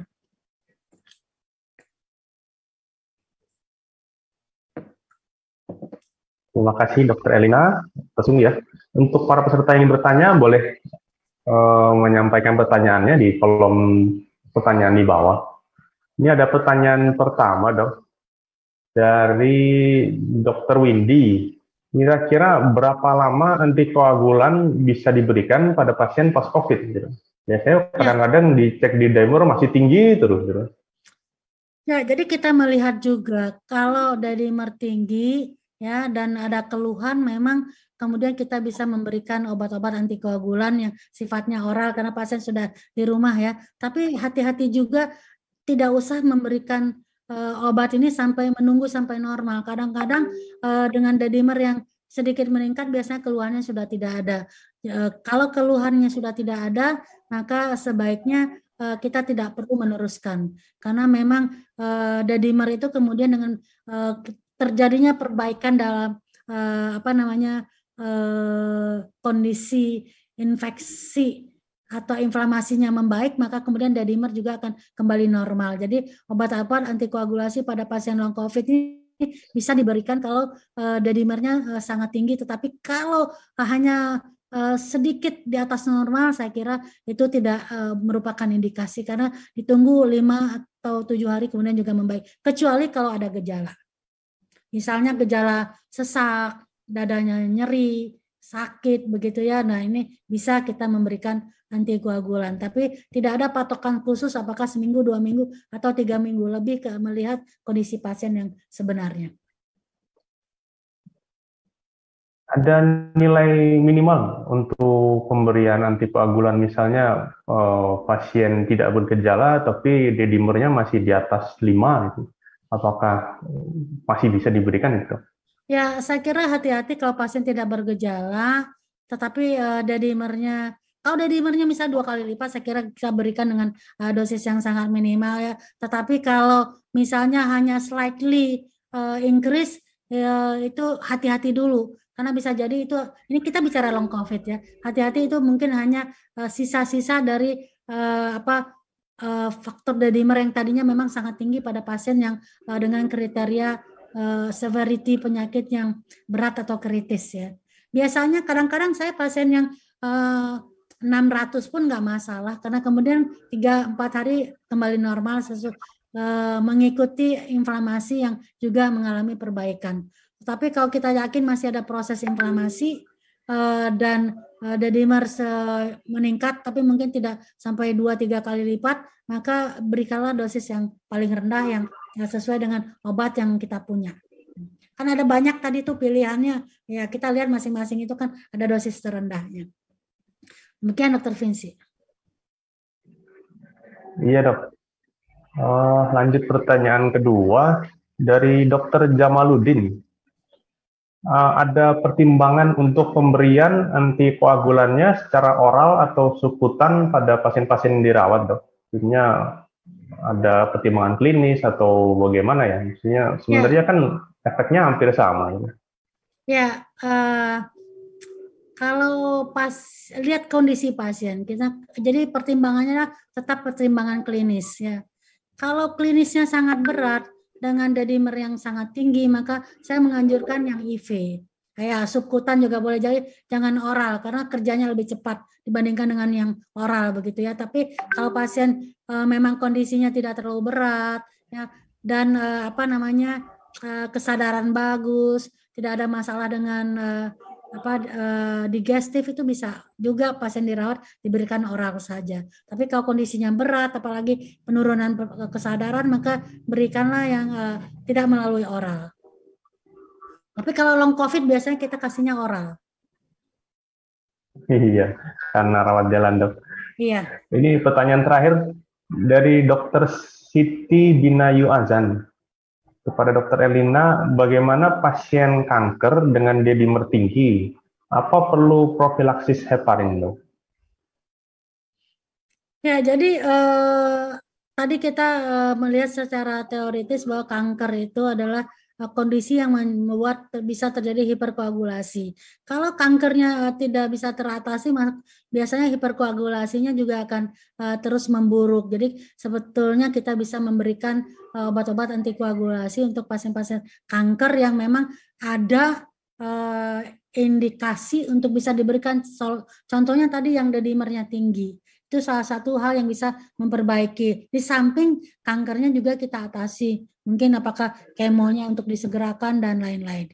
Jadi bisa diberikan juga pada pasien kanker untuk tidak memperburuk uh, kondisi uh, apa namanya uh, klinisnya karena kalau tidak diperbaiki kansernya sendiri apalagi usia tua itu pembukaan darah itu akan mudah terjadi. Jadi boleh tapi memang perlu uh, apa namanya monitor yang yang uh, uh, ketat lah begitu ya. Saya kira uh, demikian Dokter Vinci. Ya. ya, terima kasih dok. Mohon maaf pada para peserta waktu sudah habis untuk sesi tanya jawab kali ini.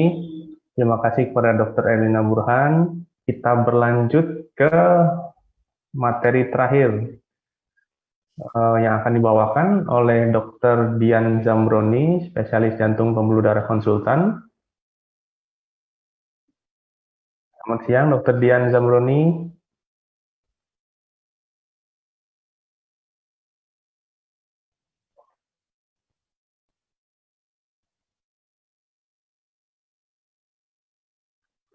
Pada Dr. Dian, ya. saya persilakan dok, waktu ya. dan tempat. Uh, terima kasih Dr. Vinci. Apakah slide saya terdengar dengan jelas? Iya, slide-nya sudah bisa terbaca, suara terdengar jelas, dok. Ya, baik. Terima kasih. Assalamualaikum warahmatullahi wabarakatuh. Selamat siang, selamat semua. Terima kasih kepada Respina yang sudah mengundang saya untuk menyampaikan materi terkait dengan peran dari antikoagulan dan fibrinolitik pada penyakit paru. Terima kasih Dr. Elina tadi sudah menyampaikan banyak hal terkait dengan gangguan koagulasi pada COVID. Jadi beban saya sedikit berkurang untuk menerangkan hal tersebut. Jadi saya akan membahas tentang peran antikoagulan dan fibrinolitik pada penyakit paru. Tentunya kalau kita ingin mengetahui bagaimana hubungan antara paru-paru dengan sistem koagulasi dan tentunya dengan sistem sirkulasi tubuh kita. Dari gambar ini kita bisa melihat bahwa tubuh kita itu terdiri dari dua sistem sirkulasi utama, yaitu sirkulasi sistemik yang dimulai dari pembuluh darah yang sebelah kiri ini, aorta, ya dari jantung keluar ke aorta, ke arah sistemik, masuk ke kapiler, vena, kemudian masuk ke atrium kanan, ventrikel kanan, kemudian baru masuk ke sirkulasi sistemik. Tentunya berbagai hal yang bisa terjadi pada sirkulasi sistemik bisa mengakibatkan kelainan atau masalah pada sirkulasi pulmonal dan berhubungan dengan sistem respirasi. Salah satu yang bisa menyebabkan terjadinya gangguan pada sistem pulmonal adalah adanya bekuan yang lepas yang masuk ke dalam arteri pulmonalis kemudian entah dia bersarang di salah satu cabang atau ke pembuluh darah kecil yang kita sebut sebagai emboli paru. Sebelum kita masuk ke emboli paru, tentunya ada beberapa faktor yang bisa menyebabkan terjadinya emboli paru. Salah satunya adalah DVT atau deep vein thrombosis, di mana DVT yang kemudian berlanjut menjadi emboli paru merupakan masalah utama yang menempati peringkat paling atas atau nomor tiga setelah infak miokard akut dan stroke yang terkait dengan gangguan pembuluh darah. Dan kalau kita lihat data, populasi di Amerika, emboli paru itu bisa menyebabkan sekitar 300 ribu kematian per tahun. Tentunya ini jumlahnya sangat besar, dan kalau kita lihat di Indonesia, angkanya masih belum terlihat karena kita kadang kelupaan untuk mengevaluasi apakah penyebabnya ini suatu emboli paru atau bukan. Karena sering kali kalau kita tidak tahu ketemu penyebabnya, tentunya kita langsung berasumsi bahwa ini kemungkinan emboli paru. Di negara Asia, Eropa, dan Amerika, insidennya ini semakin meningkat, tetapi dengan adanya treatment atau tata laksana yang adekuat, emboli paru akut ini jumlahnya semakin berkurang. Nah, sebenarnya apa hubungan antara DVT kemudian bisa terjadi dengan emboli paru? Yang pertama, kalau kita lihat, DVT adalah adanya trombosis dari vena dalam atau vena besar yang ada di ekstremitas bawah terutama. Di mana bila terjadi proses trombosis, maka trombosis itu suatu saat bisa lepas dan kemudian dia mengikuti aliran darah vena masuk ke dalam atrium kanan, ventrikel kanan, masuk ke dalam arteri pulmonalis, kemudian bersarang di pembuluh darah paru yang kita sebut sebagai emboli paru. Nah, kalau kita lihat ya, jumlah dari emboli paru itu sering kali misdiagnosis atau kita tidak mencurigai ini suatu proses emboli paru. Sebenarnya dia insidennya cukup tinggi, satu per seribu setahunnya.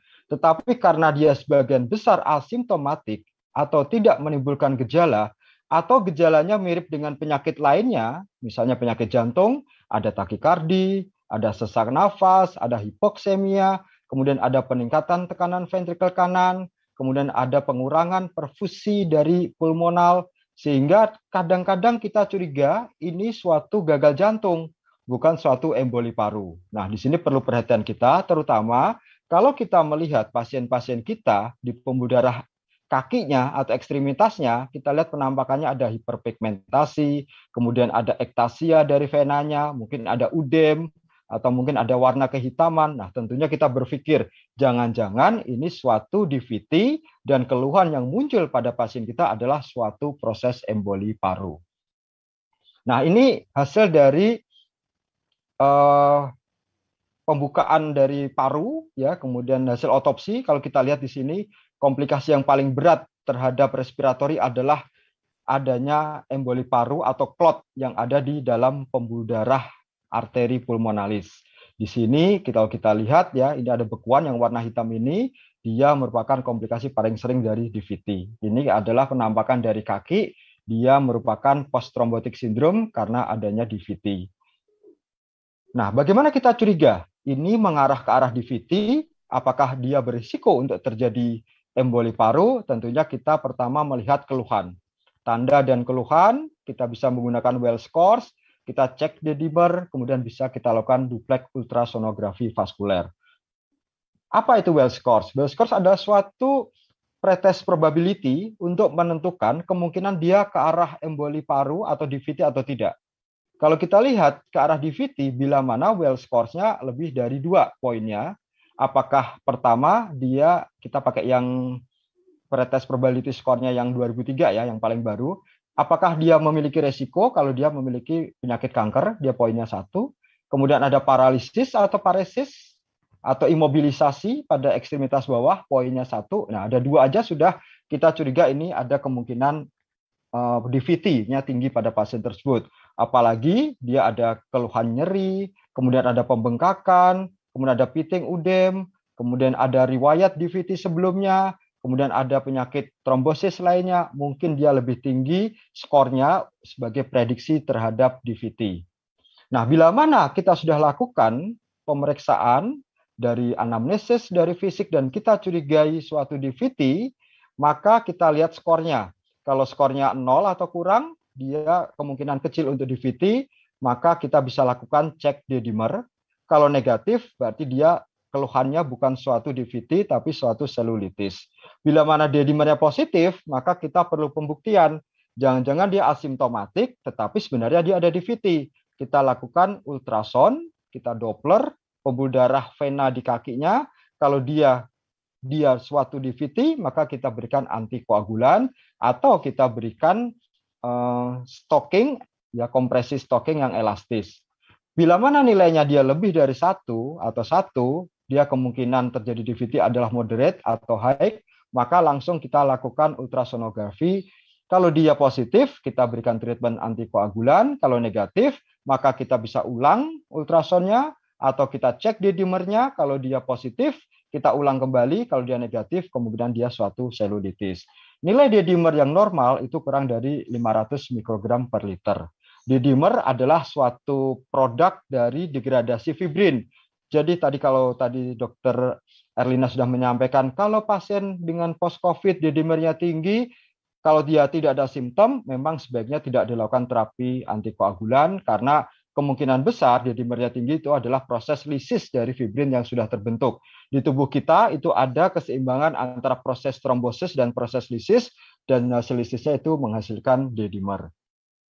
Nah, bagaimana gambaran kalau kita lakukan duplex sonografi? Yang sebelah kiri ini adalah gambaran arteri dan vena.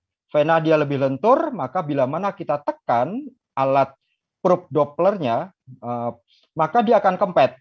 Nah, kalau kempet ini berarti dia kemungkinan besar tidak ada suatu hambatan yang menyebabkan gangguan aliran darah balik ke dalam jantung. Tetapi kalau kita lihat di sini ada gambaran seperti trombus ya yang agak abu-abu ini. Kemudian kalau kita tekan dia tidak kempet, berarti dia trombusnya itu menyebabkan tekanan intravenanya itu meningkat sehingga kita curiga ini suatu DVT. Nah, DVT harus segera kita treatment. Tujuannya adalah untuk mencegah pembentukan klot lebih lanjut. Yang kedua, untuk mencegah terjadinya emboli paru akut, di mana emboli paru akut ini, bila mana kita tidak obati, bisa menyebabkan angka morbiditas dan mortalitas yang tinggi. Karena kita tahu bahwa sebenarnya emboli paru ini, kalau kita lihat, di VT dan emboli paru ini seperti fenomena gunung es. Dia sebenarnya banyak, tetapi secara klinis mungkin kita tidak ketemu atau kita kurang aware untuk mendiagnosis bahwa ini suatu DVT atau suatu emboli paru karena mungkin gejalanya tidak ada. Nah, kalau kita bicara tentang DVT, kemudian resiko terjadi emboli paru, terutama pada pasien-pasien yang dirawat di ruang intensif, maka kita harus berpikir bahwa dia memerlukan terapi profilaktik atau bukan. Sebelum kita melakukan terapi profilaktik, tentunya kita harus menilai apakah risiko yang muncul pada pasien kita tinggi atau tidak. Karena sebenarnya venus tromboemboli atau DVT dan emboli paru di perawatan kritis itu menyebabkan angka kematian yang cukup tinggi. Fatal pulmonary emboli dia bisa menyebabkan 5 sampai 10% dari seluruh kematian di perawatan rumah sakit. Dan venus tromboemboli ini berhubungan dengan peningkatan kematian jangka panjang dan tentunya akan menyebabkan kos yang membengkak dari segi pembiayaan rumah sakit. Dan sering kali kita kurang aware, kecuali kita kita menganut satu guideline bahwa pada semua pasien yang berisiko terjadinya DVT, maka kita berikan profilaksis antikoagulan, dan ternyata profilaksis antikoagulan ini menunjukkan perbaikan insiden DVT sampai 80%. Nah, kita kembali lagi ke sejarah atau bagaimana proses terbentuknya venus tromboemboli. Triad Virchow, yang kita lihat bahwa Profesor Rudolf Virchow ini sudah mengemukakan beberapa tahun yang lalu ya, mungkin abad yang lalu, bahwa ada tiga kondisi yang bisa menyebabkan terjadinya deep vein thrombosis atau kejadian venous thromboemboli. Yang pertama kondisi hiperkoagulasi, di mana kondisi hiperkoagulasi ini bisa kita temukan pada malignansi atau keganasan, pada orang hamil, pada penggunaan terapi hormonal, pada inflammatory bowel disease, sepsis, dan trombofilia, dan yang terakhir kita bisa temukan pada COVID-19. Kemudian endothelial injury atau kerusakan pada endotel itu bisa terjadi pada operasi-operasi besar, trauma, kemudian kronik pembengkakan daerah sentral, kemudian penggunaan venous catheter dan kemoterapi, Dan yang terakhir adalah stasis. Ini banyak kita lihat pada pasien-pasien yang dirawat di ruang intensif, terutama yang menggunakan device ventilator, kemudian IABP atau penggunaan CRRT ya, di mana terjadi imobilisasi, ada venous insufficiency, ada venous obstruction karena tumor, kegemukan atau pregnancy dan polisitemia. Ketiga faktor inilah yang bisa menyebabkan terjadinya DVT. Yang terakhir itu tadi pada kondisi COVID ternyata COVID selain bisa menyebabkan kerusakan pada sistem kardiovaskular, dia menyebabkan koagulopati. Nah, koagulopati inilah yang bisa menyebabkan terjadinya DVT dan emboli pada paru atau tromboembolism. Nah, bagaimana kita menilai pasien kita memerlukan profilaksis atau memerlukan terapi antikoagulan untuk mencegah terjadinya DVT, mencegah terjadinya emboli paru, dan tidak berisiko terhadap perdarahan. Ada prediction score yang dikeluarkan oleh PA2 dan ada modifikasinya, dan resiko perdarahan bisa kita nilai dari improve. Improve study ya. Jadi kita nilai. Yang pertama, prediksi bahwa ini berisiko terjadinya venous thromboemboli. Bila mana pasien ada kanker aktif, riwayat VTE sebelumnya, imobilisasi lebih dari sama dengan tiga hari. Masing-masing ini nilainya udah tiga. Kalau dia nilainya empat, itu resiko terjadinya venous thromboemboli itu sangat tinggi. Sudah ada pasien on ventilator, dia imobilisasi tiga hari, kemudian usianya lebih lanjut, kemudian ada heart failure atau respiratory failure, ada infak miokard, tentunya jumlahnya akan meningkat. Bila mana dia resikonya tinggi, maka sebaiknya kita berikan antikoagulan profilaksis. Kemudian ada modifikasi. Ini lebih sederhana lagi dan lebih mungkin kalau kita lihat paling gampang untuk kita terapkan. Kenapa? Karena angkanya 4. Kalau lebih dari sama dengan 4, dia resiko tinggi terjadinya venous thromboemboli. Pasien yang dirawat di perawatan kritis dan dia imobilisasi itu sudah nilainya 4. Tentunya pada pasien-pasien perawatan kritis memerlukan terapi antikoagulan. Apalagi dia ada inflammatory bowel disease, pada kanker aktif, ada riwayat VTI, kemudian dia tidak bergerak, udah dirawat di ruang kritis, tidak bergerak, itu nilainya udah 7. Udah pasti dia memerlukan antikoagulan. Apalagi umurnya sudah lanjut, gagal jantung, infak miokard, kemudian obesitas, dan dia terapi hormonal, tentunya dia lebih tinggi lagi. Tentunya kita harus membuat keseimbangan. Yang pertama, keseimbangan untuk mencegah terjadinya trombosis atau venous thromboemboli, tetapi kita juga bisa mencegah terjadinya perdarahan. Karena obat antikoagulan itu seperti pisau bermata dua. Satu dia menghambat trombosis, yang kedua dia berisiko perdarahan. Karena itu diperkenalkan improve bleeding score untuk menilai apakah dia risiko tinggi terhadap perdarahan. Bila mana dia memiliki moderate renal failure atau IGFR 30 sampai 59, dia poinnya satu. Dia laki-laki, poinnya satu. Umur 40 sampai 48, umurnya poinnya satu setengah. Kemudian riwayat kanker dua, ada rheumatic disease dua, perawatan di ICU dua, kemudian uh, dua setengah sorry, uh, renal failure yang berat dia dua setengah, hepatic failure dia dua setengah, umur lebih dari 85 atau kurang dari 40 tiga setengah, kemudian trombosit kurang dari 50 dia poinnya 4, ada riwayat perdarahan dalam tiga bulan terakhir dia poinnya 4, ada aktif gastroduodenal ulcer dia poinnya empat setengah. Bila mana kita temukan total dari poin-poin ini yang ada pada pasien kita, dia skornya lebih dari sama dengan 7, dia berisiko tinggi terhadap perdarahan. Tentunya kita harus memilih obat antikoagulan yang tepat pada pasien tersebut dia mencegah trombosis, mencegah emboli paru, tetapi resiko perdarahannya rendah. Dan yang terpilih dari panduan itu adalah Fundaparinox. Nah, bagaimana konsensus terkait dengan tata laksana tromboemboli vena pada penyakit kritis yang dikeluarkan oleh Perdici, PTHI, Perki, IKI, dan Petri tahun 2019. Bila mana kita mau menggunakan antikoagulan profilaksis, ada tiga pilihan antikoagulan yang bisa kita pakai. Ada low molecular weight heparin, dengan dosis profilaksis 40 mg subkutan satu kali sehari dan kita sesuaikan kalau kadar kreatininnya dia tinggi. Kemudian ada unfractional heparin diberikan dua kali 5000 unit subkutan per 12 jam atau kita berikan intravena dengan target satu setengah kontrol.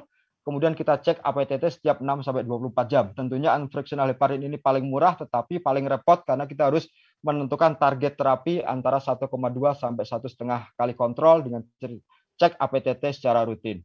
Dan yang sederhana adalah Fudaparinox. Kita berikan 2,5 mg subkutan satu kali sehari dan tidak perlu pemeriksaan kadar APTT atau faktor 10A bisa kita langsung berikan secara subkutan dan tentunya pada gagal ginjal sama dengan low molecular heparin kita harus berikan dengan hati-hati.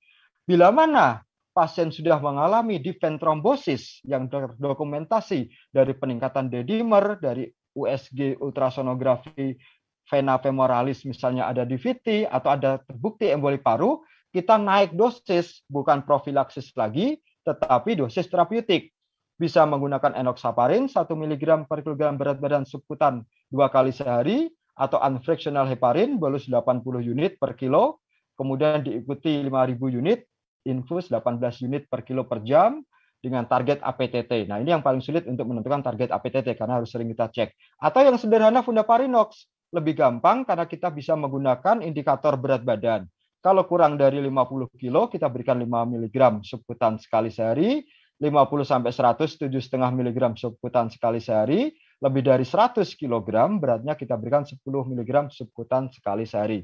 Ini untuk dosis terapeutik. Nah, bagaimana dengan emboli paru? Nah, kita tadi sudah membahas bahwa emboli paru terjadi karena adanya bekuan atau lepasan trombus dari vena sistemik masuk ke sirkulasi pulmonal dan bersarang di arteri pulmonalis. Mungkin keluhan yang bisa muncul pada akut emboli paru itu kurang spesifik karena mirip dengan pasien gagal jantung.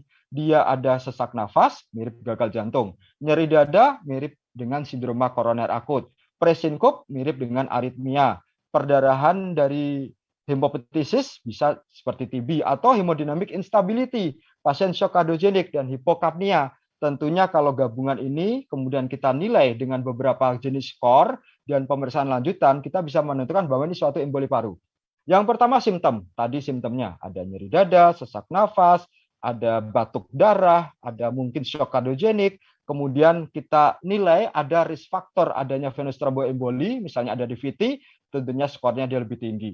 Kemudian kita lihat chest X-ray. Di chest X-ray yang kita lihat di sini, kita bisa melihat gambaran adanya yang di tanda panah merah ini adalah suatu trombus yang ada di cabang dari arteri pulmonalis kanan.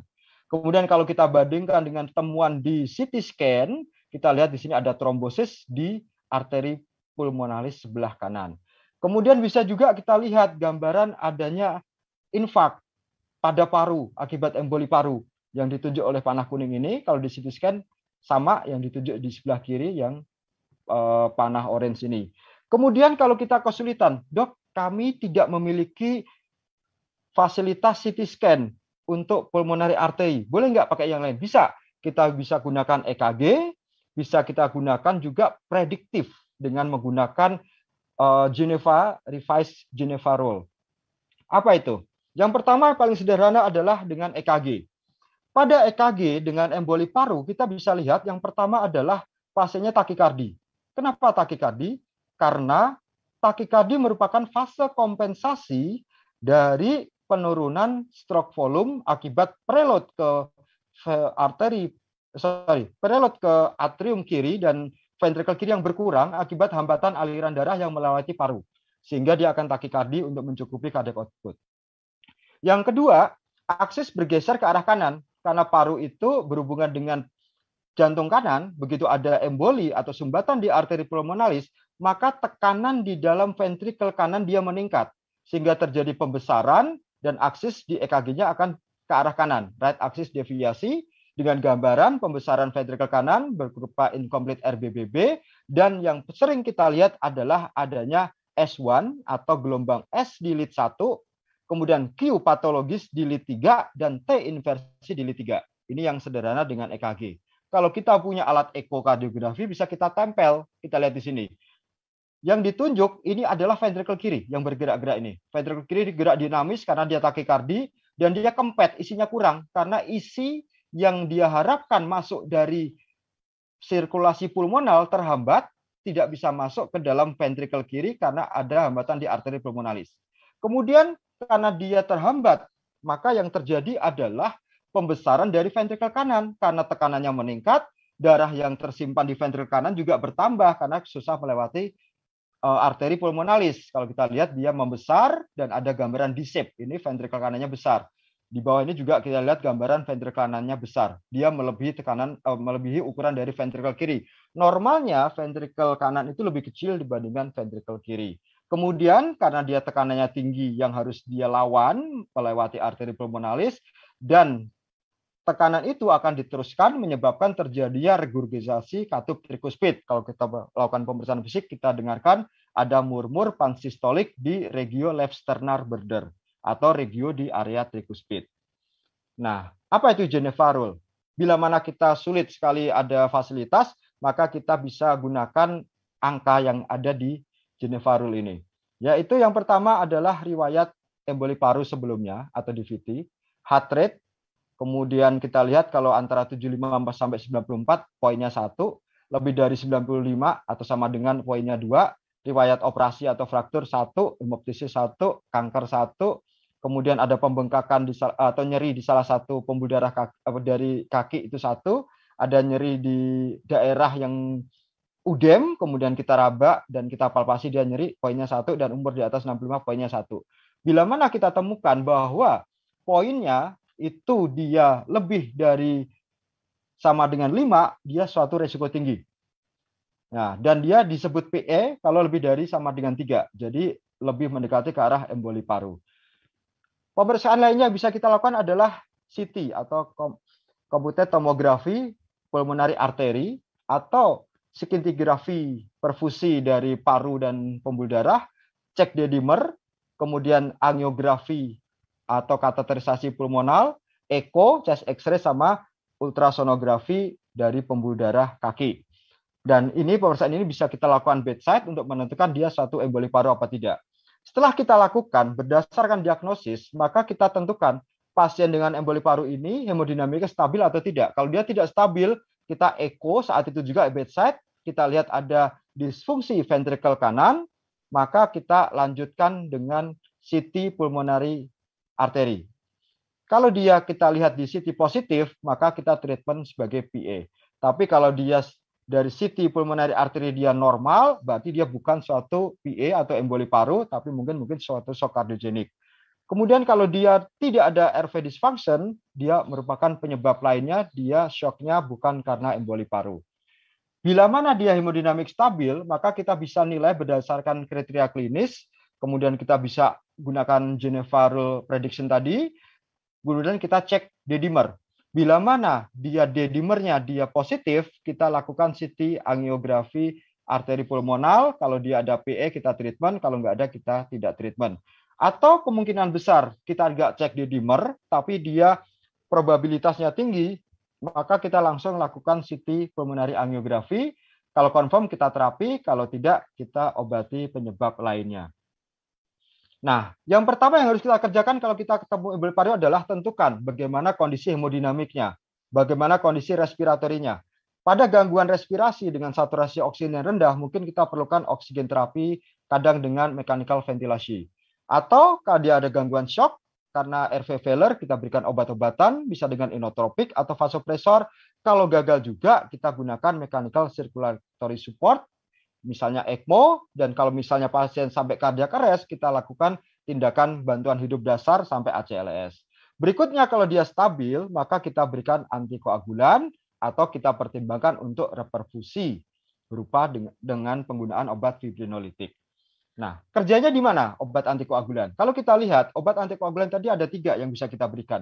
Yang pertama adalah unfractional heparin, dia merupakan antitrombin dan menghambat faktor 10A. Kemudian low molecular heparin, dia juga anti faktor 10A. Kemudian fundaparinok, dia anti faktor 10A. Nah, di sini obat itu bisa kita berikan untuk mencegah progresivitas pembentukan trombus. Tetapi kalau sudah terbentuk trombus dan dia mengganggu aliran dan trombusnya nyata, maka pilihannya adalah kita hancurkan trombusnya dengan cara pemberian fibrinolitik. Ada yang ada di Indonesia adalah streptokinase. Tugas dari fibrinolitik adalah dia mengaktifasi fibrinogen, eh sorry, mengaktifasi plasminogen, membentuk plasmin dan plasmin ini yang akan menghancurkan fibrin dan fibrin yang hancur itu hasil akhirnya adalah D-dimer. Jadi pada pasien dengan emboli paru, di mana sudah ada terjadi keseimbangan antara lisis dan progresivitas, D-dimernya dia akan tinggi. Kalau kita berikan fibrinolitik, D-dimernya dia akan makin meningkat karena hancurnya fibrin akibat obat streptokinase tadi. Nah, jadi obat antikoagulan apa yang dipertimbangkan untuk pasien ini? Pada pasien-pasien dengan DVT atau venous thromboemboli, obat yang dianjurkan adalah antikoagulan secara parenteral. Artinya dia tidak melewati uh, area gastrointestinal, langsung diberikan subkutan atau intravena. Obatnya bisa bermacam-macam, bisa dengan low molecular weight heparin, fudaparinox atau unfractional heparin. Kemudian kita lihat bahwa antara low molecular weight heparin atau enoxaparin dan fudaparinox itu lebih dipilih melebihi unfractional heparin karena obat tersebut simple, mudah diberikan, subkutan, dan tidak memerlukan pemantauan faktor 10A atau PT-APTT. Beda dengan unfractional heparin. Cuma bedanya pada pasien dengan gagal ginjal atau creatinine clearance kurang dari 30, sebaiknya kita gunakan unfractional heparin karena akan mengganggu fungsi ginjal bila mana kita berikan low molecular weight heparin atau fundaparinox. Kemudian ya kalau kita berikan unfractional heparin, enoxaparin bisa kita berikan 1 mg per kilo berat badan setiap 12 jam. Kemudian fundaparinox tergantung dari berat badan ya jadi kita nggak usah mikir per kilo per kilonya. Kita timbang pasiennya kurang dari 50 kilo kita berikan 5 mg 50 sampai 100 kilo 7,5 mg lebih dari 100 kilo kita berikan 10 mg Nah, hasilnya apa kalau kita lihat dari beberapa studi? Ternyata subkutan fundaparinox dibandingkan dengan unfractional heparin intravena untuk terapi emboli paru itu lebih bagus hasilnya dan lebih efektif dan aman bila mana kita berikan fundaparinox. Efektif artinya bisa mencegah terjadinya emboli paru, menghambat progresivitas pembentukan trombus, dan safe, aman, artinya risiko perdarahannya lebih rendah dibandingkan unfractional heparin. Nah, bagaimana kalau sudah terbentuk clot yang ada di emboli di arteri pulmonalis dan clotnya itu mengganggu hemodinamik dan mengganggu kerja respirasi. Maka di sini adalah peran reperfusi atau sistemik trombolisis. Di sini kita berikan trombolitik terapi, dia akan memperbaiki secara cepat obstruksi yang ada di level arteri pulmonalis, menurunkan tekanan arteri pulmonalis, dan menurunkan resistensi dari vaskular paru dibandingkan kalau kita gunakan unfractional heparin atau antikoagulan lainnya. Dan obat ini akan bekerja secara optimal kalau onsetnya kurang dari 48 jam. Nah, obat apa yang bisa kita pilih? Di Indonesia ada dua obatnya. Yang pertama, rekombinan tisu plasminogen aktivator atau alteplase. Diberikan 100 mg selama 2 jam, kemudian 0, mg per kilo berat badan selama 15 menit, maksimum dosis 50 mg. Ini obatnya lebih sulit dicari dan harganya lebih mahal. Kalau tidak salah satu vial itu sekitar 10 jutaan ya, dia butuh dua vial. Kemudian yang kedua ada streptokinase. Dia kita berikan loading 250 ribu unit selama 30 menit diikuti 100 ribu unit per jam selama 12 sampai 24 jam. Nah, obat ini kita berikan bila mana tidak ada kontraindikasi. Sama dengan kalau pasien ST elevasi miokardal infark kita fibrinolitik dengan streptokinase, kita harus cari ada kontraindikasi atau tidak. Kalau dia ada kontraindikasi yang absolut, misalnya riwayat stroke perdarahan, kemudian riwayat stroke 6 bulan terakhir, ada neoplasma intrakranial, ada riwayat operasi dalam tiga minggu terakhir, ada perdarahan atau active bleeding, dia tidak boleh kita berikan anti trombotik ini atau trombolitik ini. Tetapi bila mana ada kontraindikasi relatif, bisa kita pertimbangkan tergantung risiko dan manfaat. Nah, sebagai summary atau kesimpulan dan apa yang bisa kita pelajari pada siang hari ini, yang pertama adalah venous thromboemboli itu berhubungan dengan peningkatan mortalitas, morbiditas, dan pembiayaan. Kalau misalnya kita tidak aware atau kita tidak peduli terhadap adanya venous thromboembolism ini. Kemudian guideline-guideline menganjurkan bahwa pada pasien yang dirawat di ruang intensif atau di ruang kritis itu sebaiknya diberikan antikoagulan profilaksis. Dan emboli paru akut merupakan komplikasi yang paling berbahaya dari DVT di mana fatal emboli paru itu berkisar 5 sampai 10% dari seluruh kematian pasien yang dirawat di rumah sakit. Dan early diagnosis atau diagnosis dini dan terapi yang adekuat terhadap emboli pari akan mengurangi morbiditas dan mortalitas dan antikoagulan merupakan obat yang terpilih untuk DVT dan mencegah terjadinya emboli paru. Bila mana sudah terjadi emboli paru, maka trombolitik terapi merupakan obat pilihan karena dia akan memperbaiki obstruksi di level arteri pulmonalis. Sekian dari saya, terima kasih. Assalamualaikum warahmatullahi wabarakatuh. Waalaikumsalam warahmatullahi wabarakatuh. Terima kasih Pak Dokter Dian. Kita lanjut ke kita jawab langsung, Dok. Ya, silakan, Dok. Ini hanya ada di aplikasi. Dari Dokter Desi Arindi Putri. Ya, izin bertanya. Ini cerita dulu, Dok ya. Oh, saya 28 tahun penyintas COVID pneumonia saat hamil 7 bulan. Dengan riwayat ICU sebulan dengan ventilator dan ECMO. Saat di rumah sakit dapat injeksi sebutan merek tertentu yang nggak boleh sebut merek. Saat ini uh, dedimernya dari 7.000 turun menjadi 5.000. Sekarang tidak ada keluhan, apakah masih diperlukan anti trombotik oral?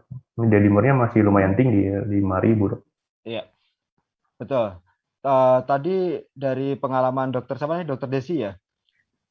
Iya. Ya, dokter Desi ini resikonya sangat tinggi ya. Yang pertama COVID, dia terjadi hiperkoagulopati.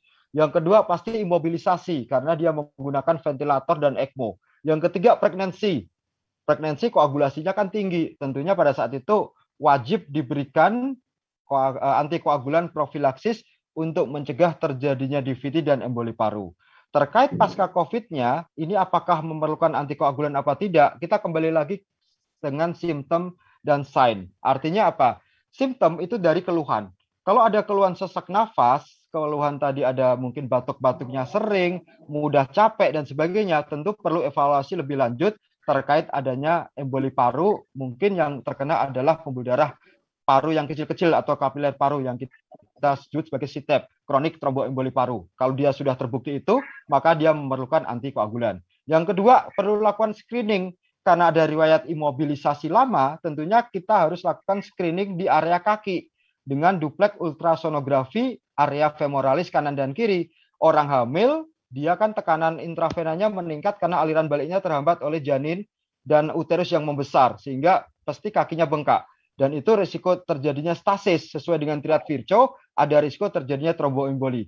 Kita lakukan dus ultrasonografi atau duplek ultrasonografi di area femoralis. Kalau kita temukan ada trombus atau ada gambaran ada gambaran sek atau spontaneous ekokontras yaitu ada gambaran seperti busa, buih-buih, tentunya itu penyebab dedimer tingginya memerlukan obat antikoagulan. Berapa lama kita berikan? Bisa dievaluasi per satu bulan dan di beberapa guideline kalau sudah terbukti ada emboli paru bisa diteruskan sampai tiga bulan.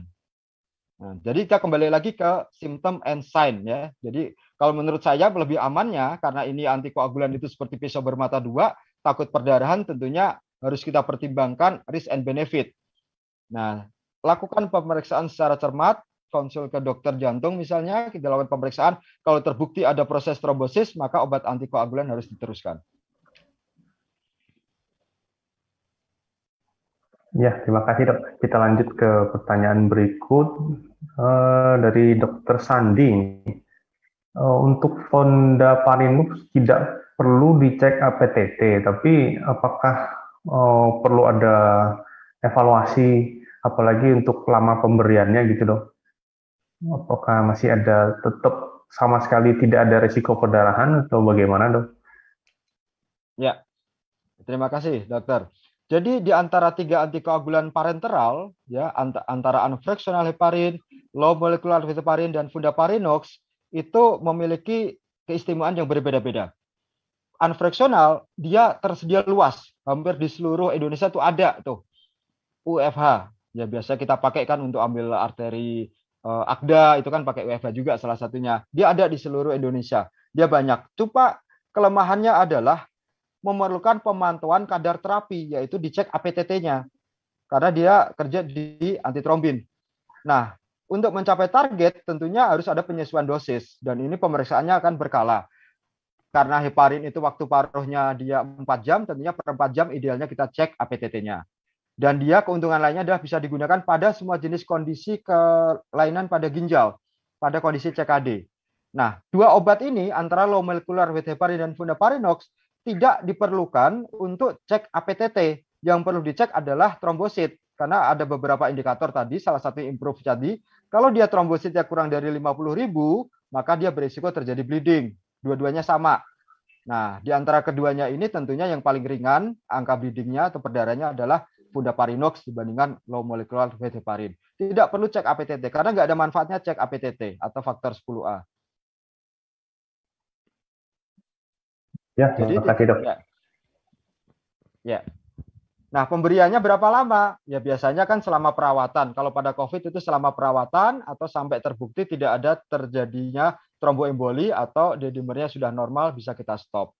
Nah, bila mana dia masih ada tanda tromboemboli atau risiko tromboemboli, maka selama perawatan itulah kita berikan um, unfractional heparin atau low molecular heparin atau fundaparin untuk mencegah terjadinya venous tromboemboli. Ya, untuk uh, misalnya kadang-kadang ada pasien-pasien COVID yang perlu tindakan Hmm. Apakah pemberian Fondaparinux minimal bisa disetop berapa lama dok untuk misalnya perlu tindakan yang berat? Uh, tindakan operatif ya? Iya operatif. Ya, tindakan operatif. Jadi gini, kalau misalnya pasien COVID, kemudian dia di, kita berikan antikoagulan parenteral, maka kalau dia planning berikutnya, tentunya kan kita tahu nih, kecuali kalau dia tindakannya sitok nih, tiba-tiba dari tempat tidur jatuh fraktur, Nah, perdarahan. Nah, itu tentunya tindakannya kan situ segera. Maka obat antikoagulan saat itu juga kita stop. Tapi kalau dia terplanning atau ter apa terencana tindakannya, misalnya dia sudah terencanakan untuk operasi apa secara elektif terkena COVID, dapat antikoagulan pas jadwalnya dioperasi dan dokter operator yang melakukan operasi, maka kalau kita berikan fundaparinox karena dia waktu paruhnya 24 jam, maka bisa kita stop antara 24 sampai 72 jam sebelum operasi di stop. Kalau dia perlu antikoagulan gimana? Kita switch dari fundaparinox ke unfractional heparin. Karena unfractional heparin yang pertama waktu paruhnya cuma 4 jam. Yang kedua dia ada antidotnya protamin. Jadi kalau butuh operasi segera kita bisa berikan protamin, udah selesai tuh. Heparinnya udah hilang dan resiko perdananya lebih rendah. Tapi kalau menggunakan fundaparinox tentunya kita stop dulu 24 sampai 72 jam. Sama lomolecular heparin juga sama 24 sampai 72 jam. Untuk mencegah resiko terjadinya perdarahan. Iya. Biasanya tindakan-tindakan kalau COVID kan untuk tracheostomi. Ya. Itu kalau resiko perdarahan tinggi. Ya. Biasanya ya di stop itu pemberian antikoagulan. Ya. Ini pertanyaan terakhir, mohon maaf uh, pada para peserta karena waktunya sudah hampir selesai dari Dr. Andreas Sujitno. Ini agak panjang, saya bacakan dulu dok. Ya, silakan dok. Uh, bagaimana pemberian antikoagulan pada pasien stroke iskemik akut on antiplatelet yang biasanya diberikan ASA, clopidogrel, atau cialostazol. Apakah boleh dikombinasikan dan pada hari keberapa boleh diberikan? Pertanyaan yang kedua juga dari Dr. Andreas, bila saat ranap pasien diberikan LMWH injeksi subkutan, apakah bisa dikonversi ke NOAC saat pasien pulang dan bagaimana cara konversinya? Ya. Ini Baik. Yang, yang pertama dulu kali itu. Ya, yang pertama ya. Ya, stroke ini adalah suatu kondisi kegawat daruratan di uh, neurovaskular ya jadi pada stroke tentunya kita harus pisahkan dulu apakah ini stroke perdarahan atau stroke iskemik. Kalau perdarahan tentunya antiplatelet, antikoagulan itu kontraindikasi dan nggak boleh diberikan.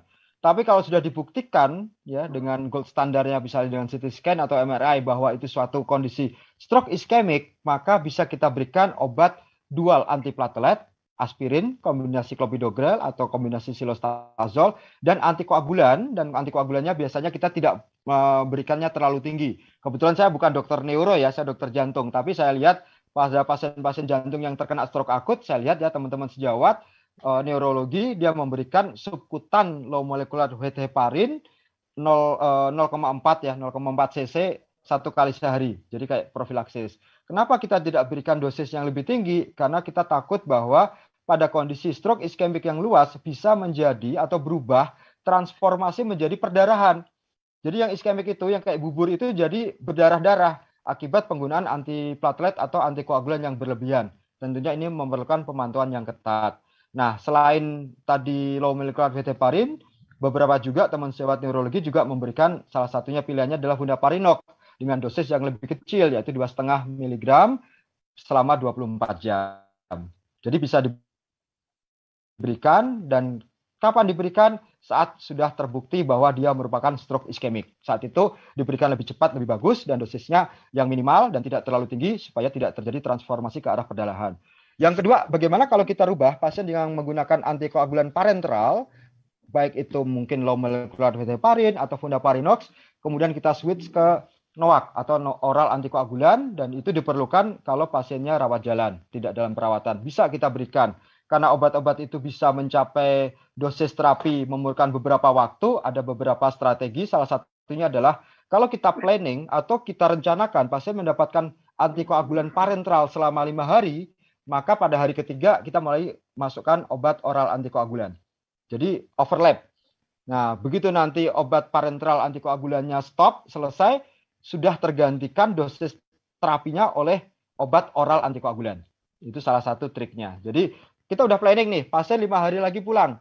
Maka hari ini dia dapat obat parenteral antikoagulan, maka hari ketiga udah mulai masuk obat oral antikoagulan. Setelah itu tiga hari berikutnya sudah kita bisa stop obat parenteralnya, pasien pulang sudah mengkonsumsi obat oral antikoagulan dengan dosis terapi yang cukup di dalam darahnya. Oke, terima kasih Dokter Dian. Mohon maaf kepada para peserta, uh, sesi tanya jawab sudah habis. Kita lanjut ke sesi penutupan. Mungkin Dokter Dian boleh undur diri, tidak apa-apa. Ya. ya, terima kasih kepada para pembicara yang sudah berbagi ilmunya. Alhamdulillah kita mendapat banyak masukan untuk praktek sehari-hari. Terima kasih juga untuk para peserta, teman sejawat yang bersedia mengikuti webinar ini dari awal sampai akhir. Mudah-mudahan ilmu yang didapatkan dapat diamalkan dan memberikan banyak manfaat kepada pasien-pasien kita. Sekali lagi kami ingatkan, jangan lupa untuk mengisi post test yang linknya ada di bawah ya, eh, di tombol hijau. Eh, akhir kata, mohon maaf jika ada kekurangan dari kami, terima kasih. Kita tutup webinar kali ini. Sampai jumpa di webinar dan seminar Respina tahun depan yang insya Allah di Respina ini akan dilaksanakan secara hybrid rencananya. Mudah-mudahan kalau memang COVID-nya sudah jauh berkurang, insya Allah bisa ada offline yang kita kombinasikan dengan online karena zaman sekarang online sudah terbiasa ya. Tapi mudah-mudahan kalau kita bisa bertatap muka, bisa ya berkumpul walaupun tidak terlalu ramai membuat kerumunan. Ya, tahun depan direncanakan Respina akan dilaksanakan secara offline juga. Uh, yang terakhir juga terima kasih kepada Dexa Medica dan dokter-dokter yang membantu berlangsungnya webinar kali ini. Wabillahi taufik wal hidayah. Wassalamualaikum warahmatullahi wabarakatuh.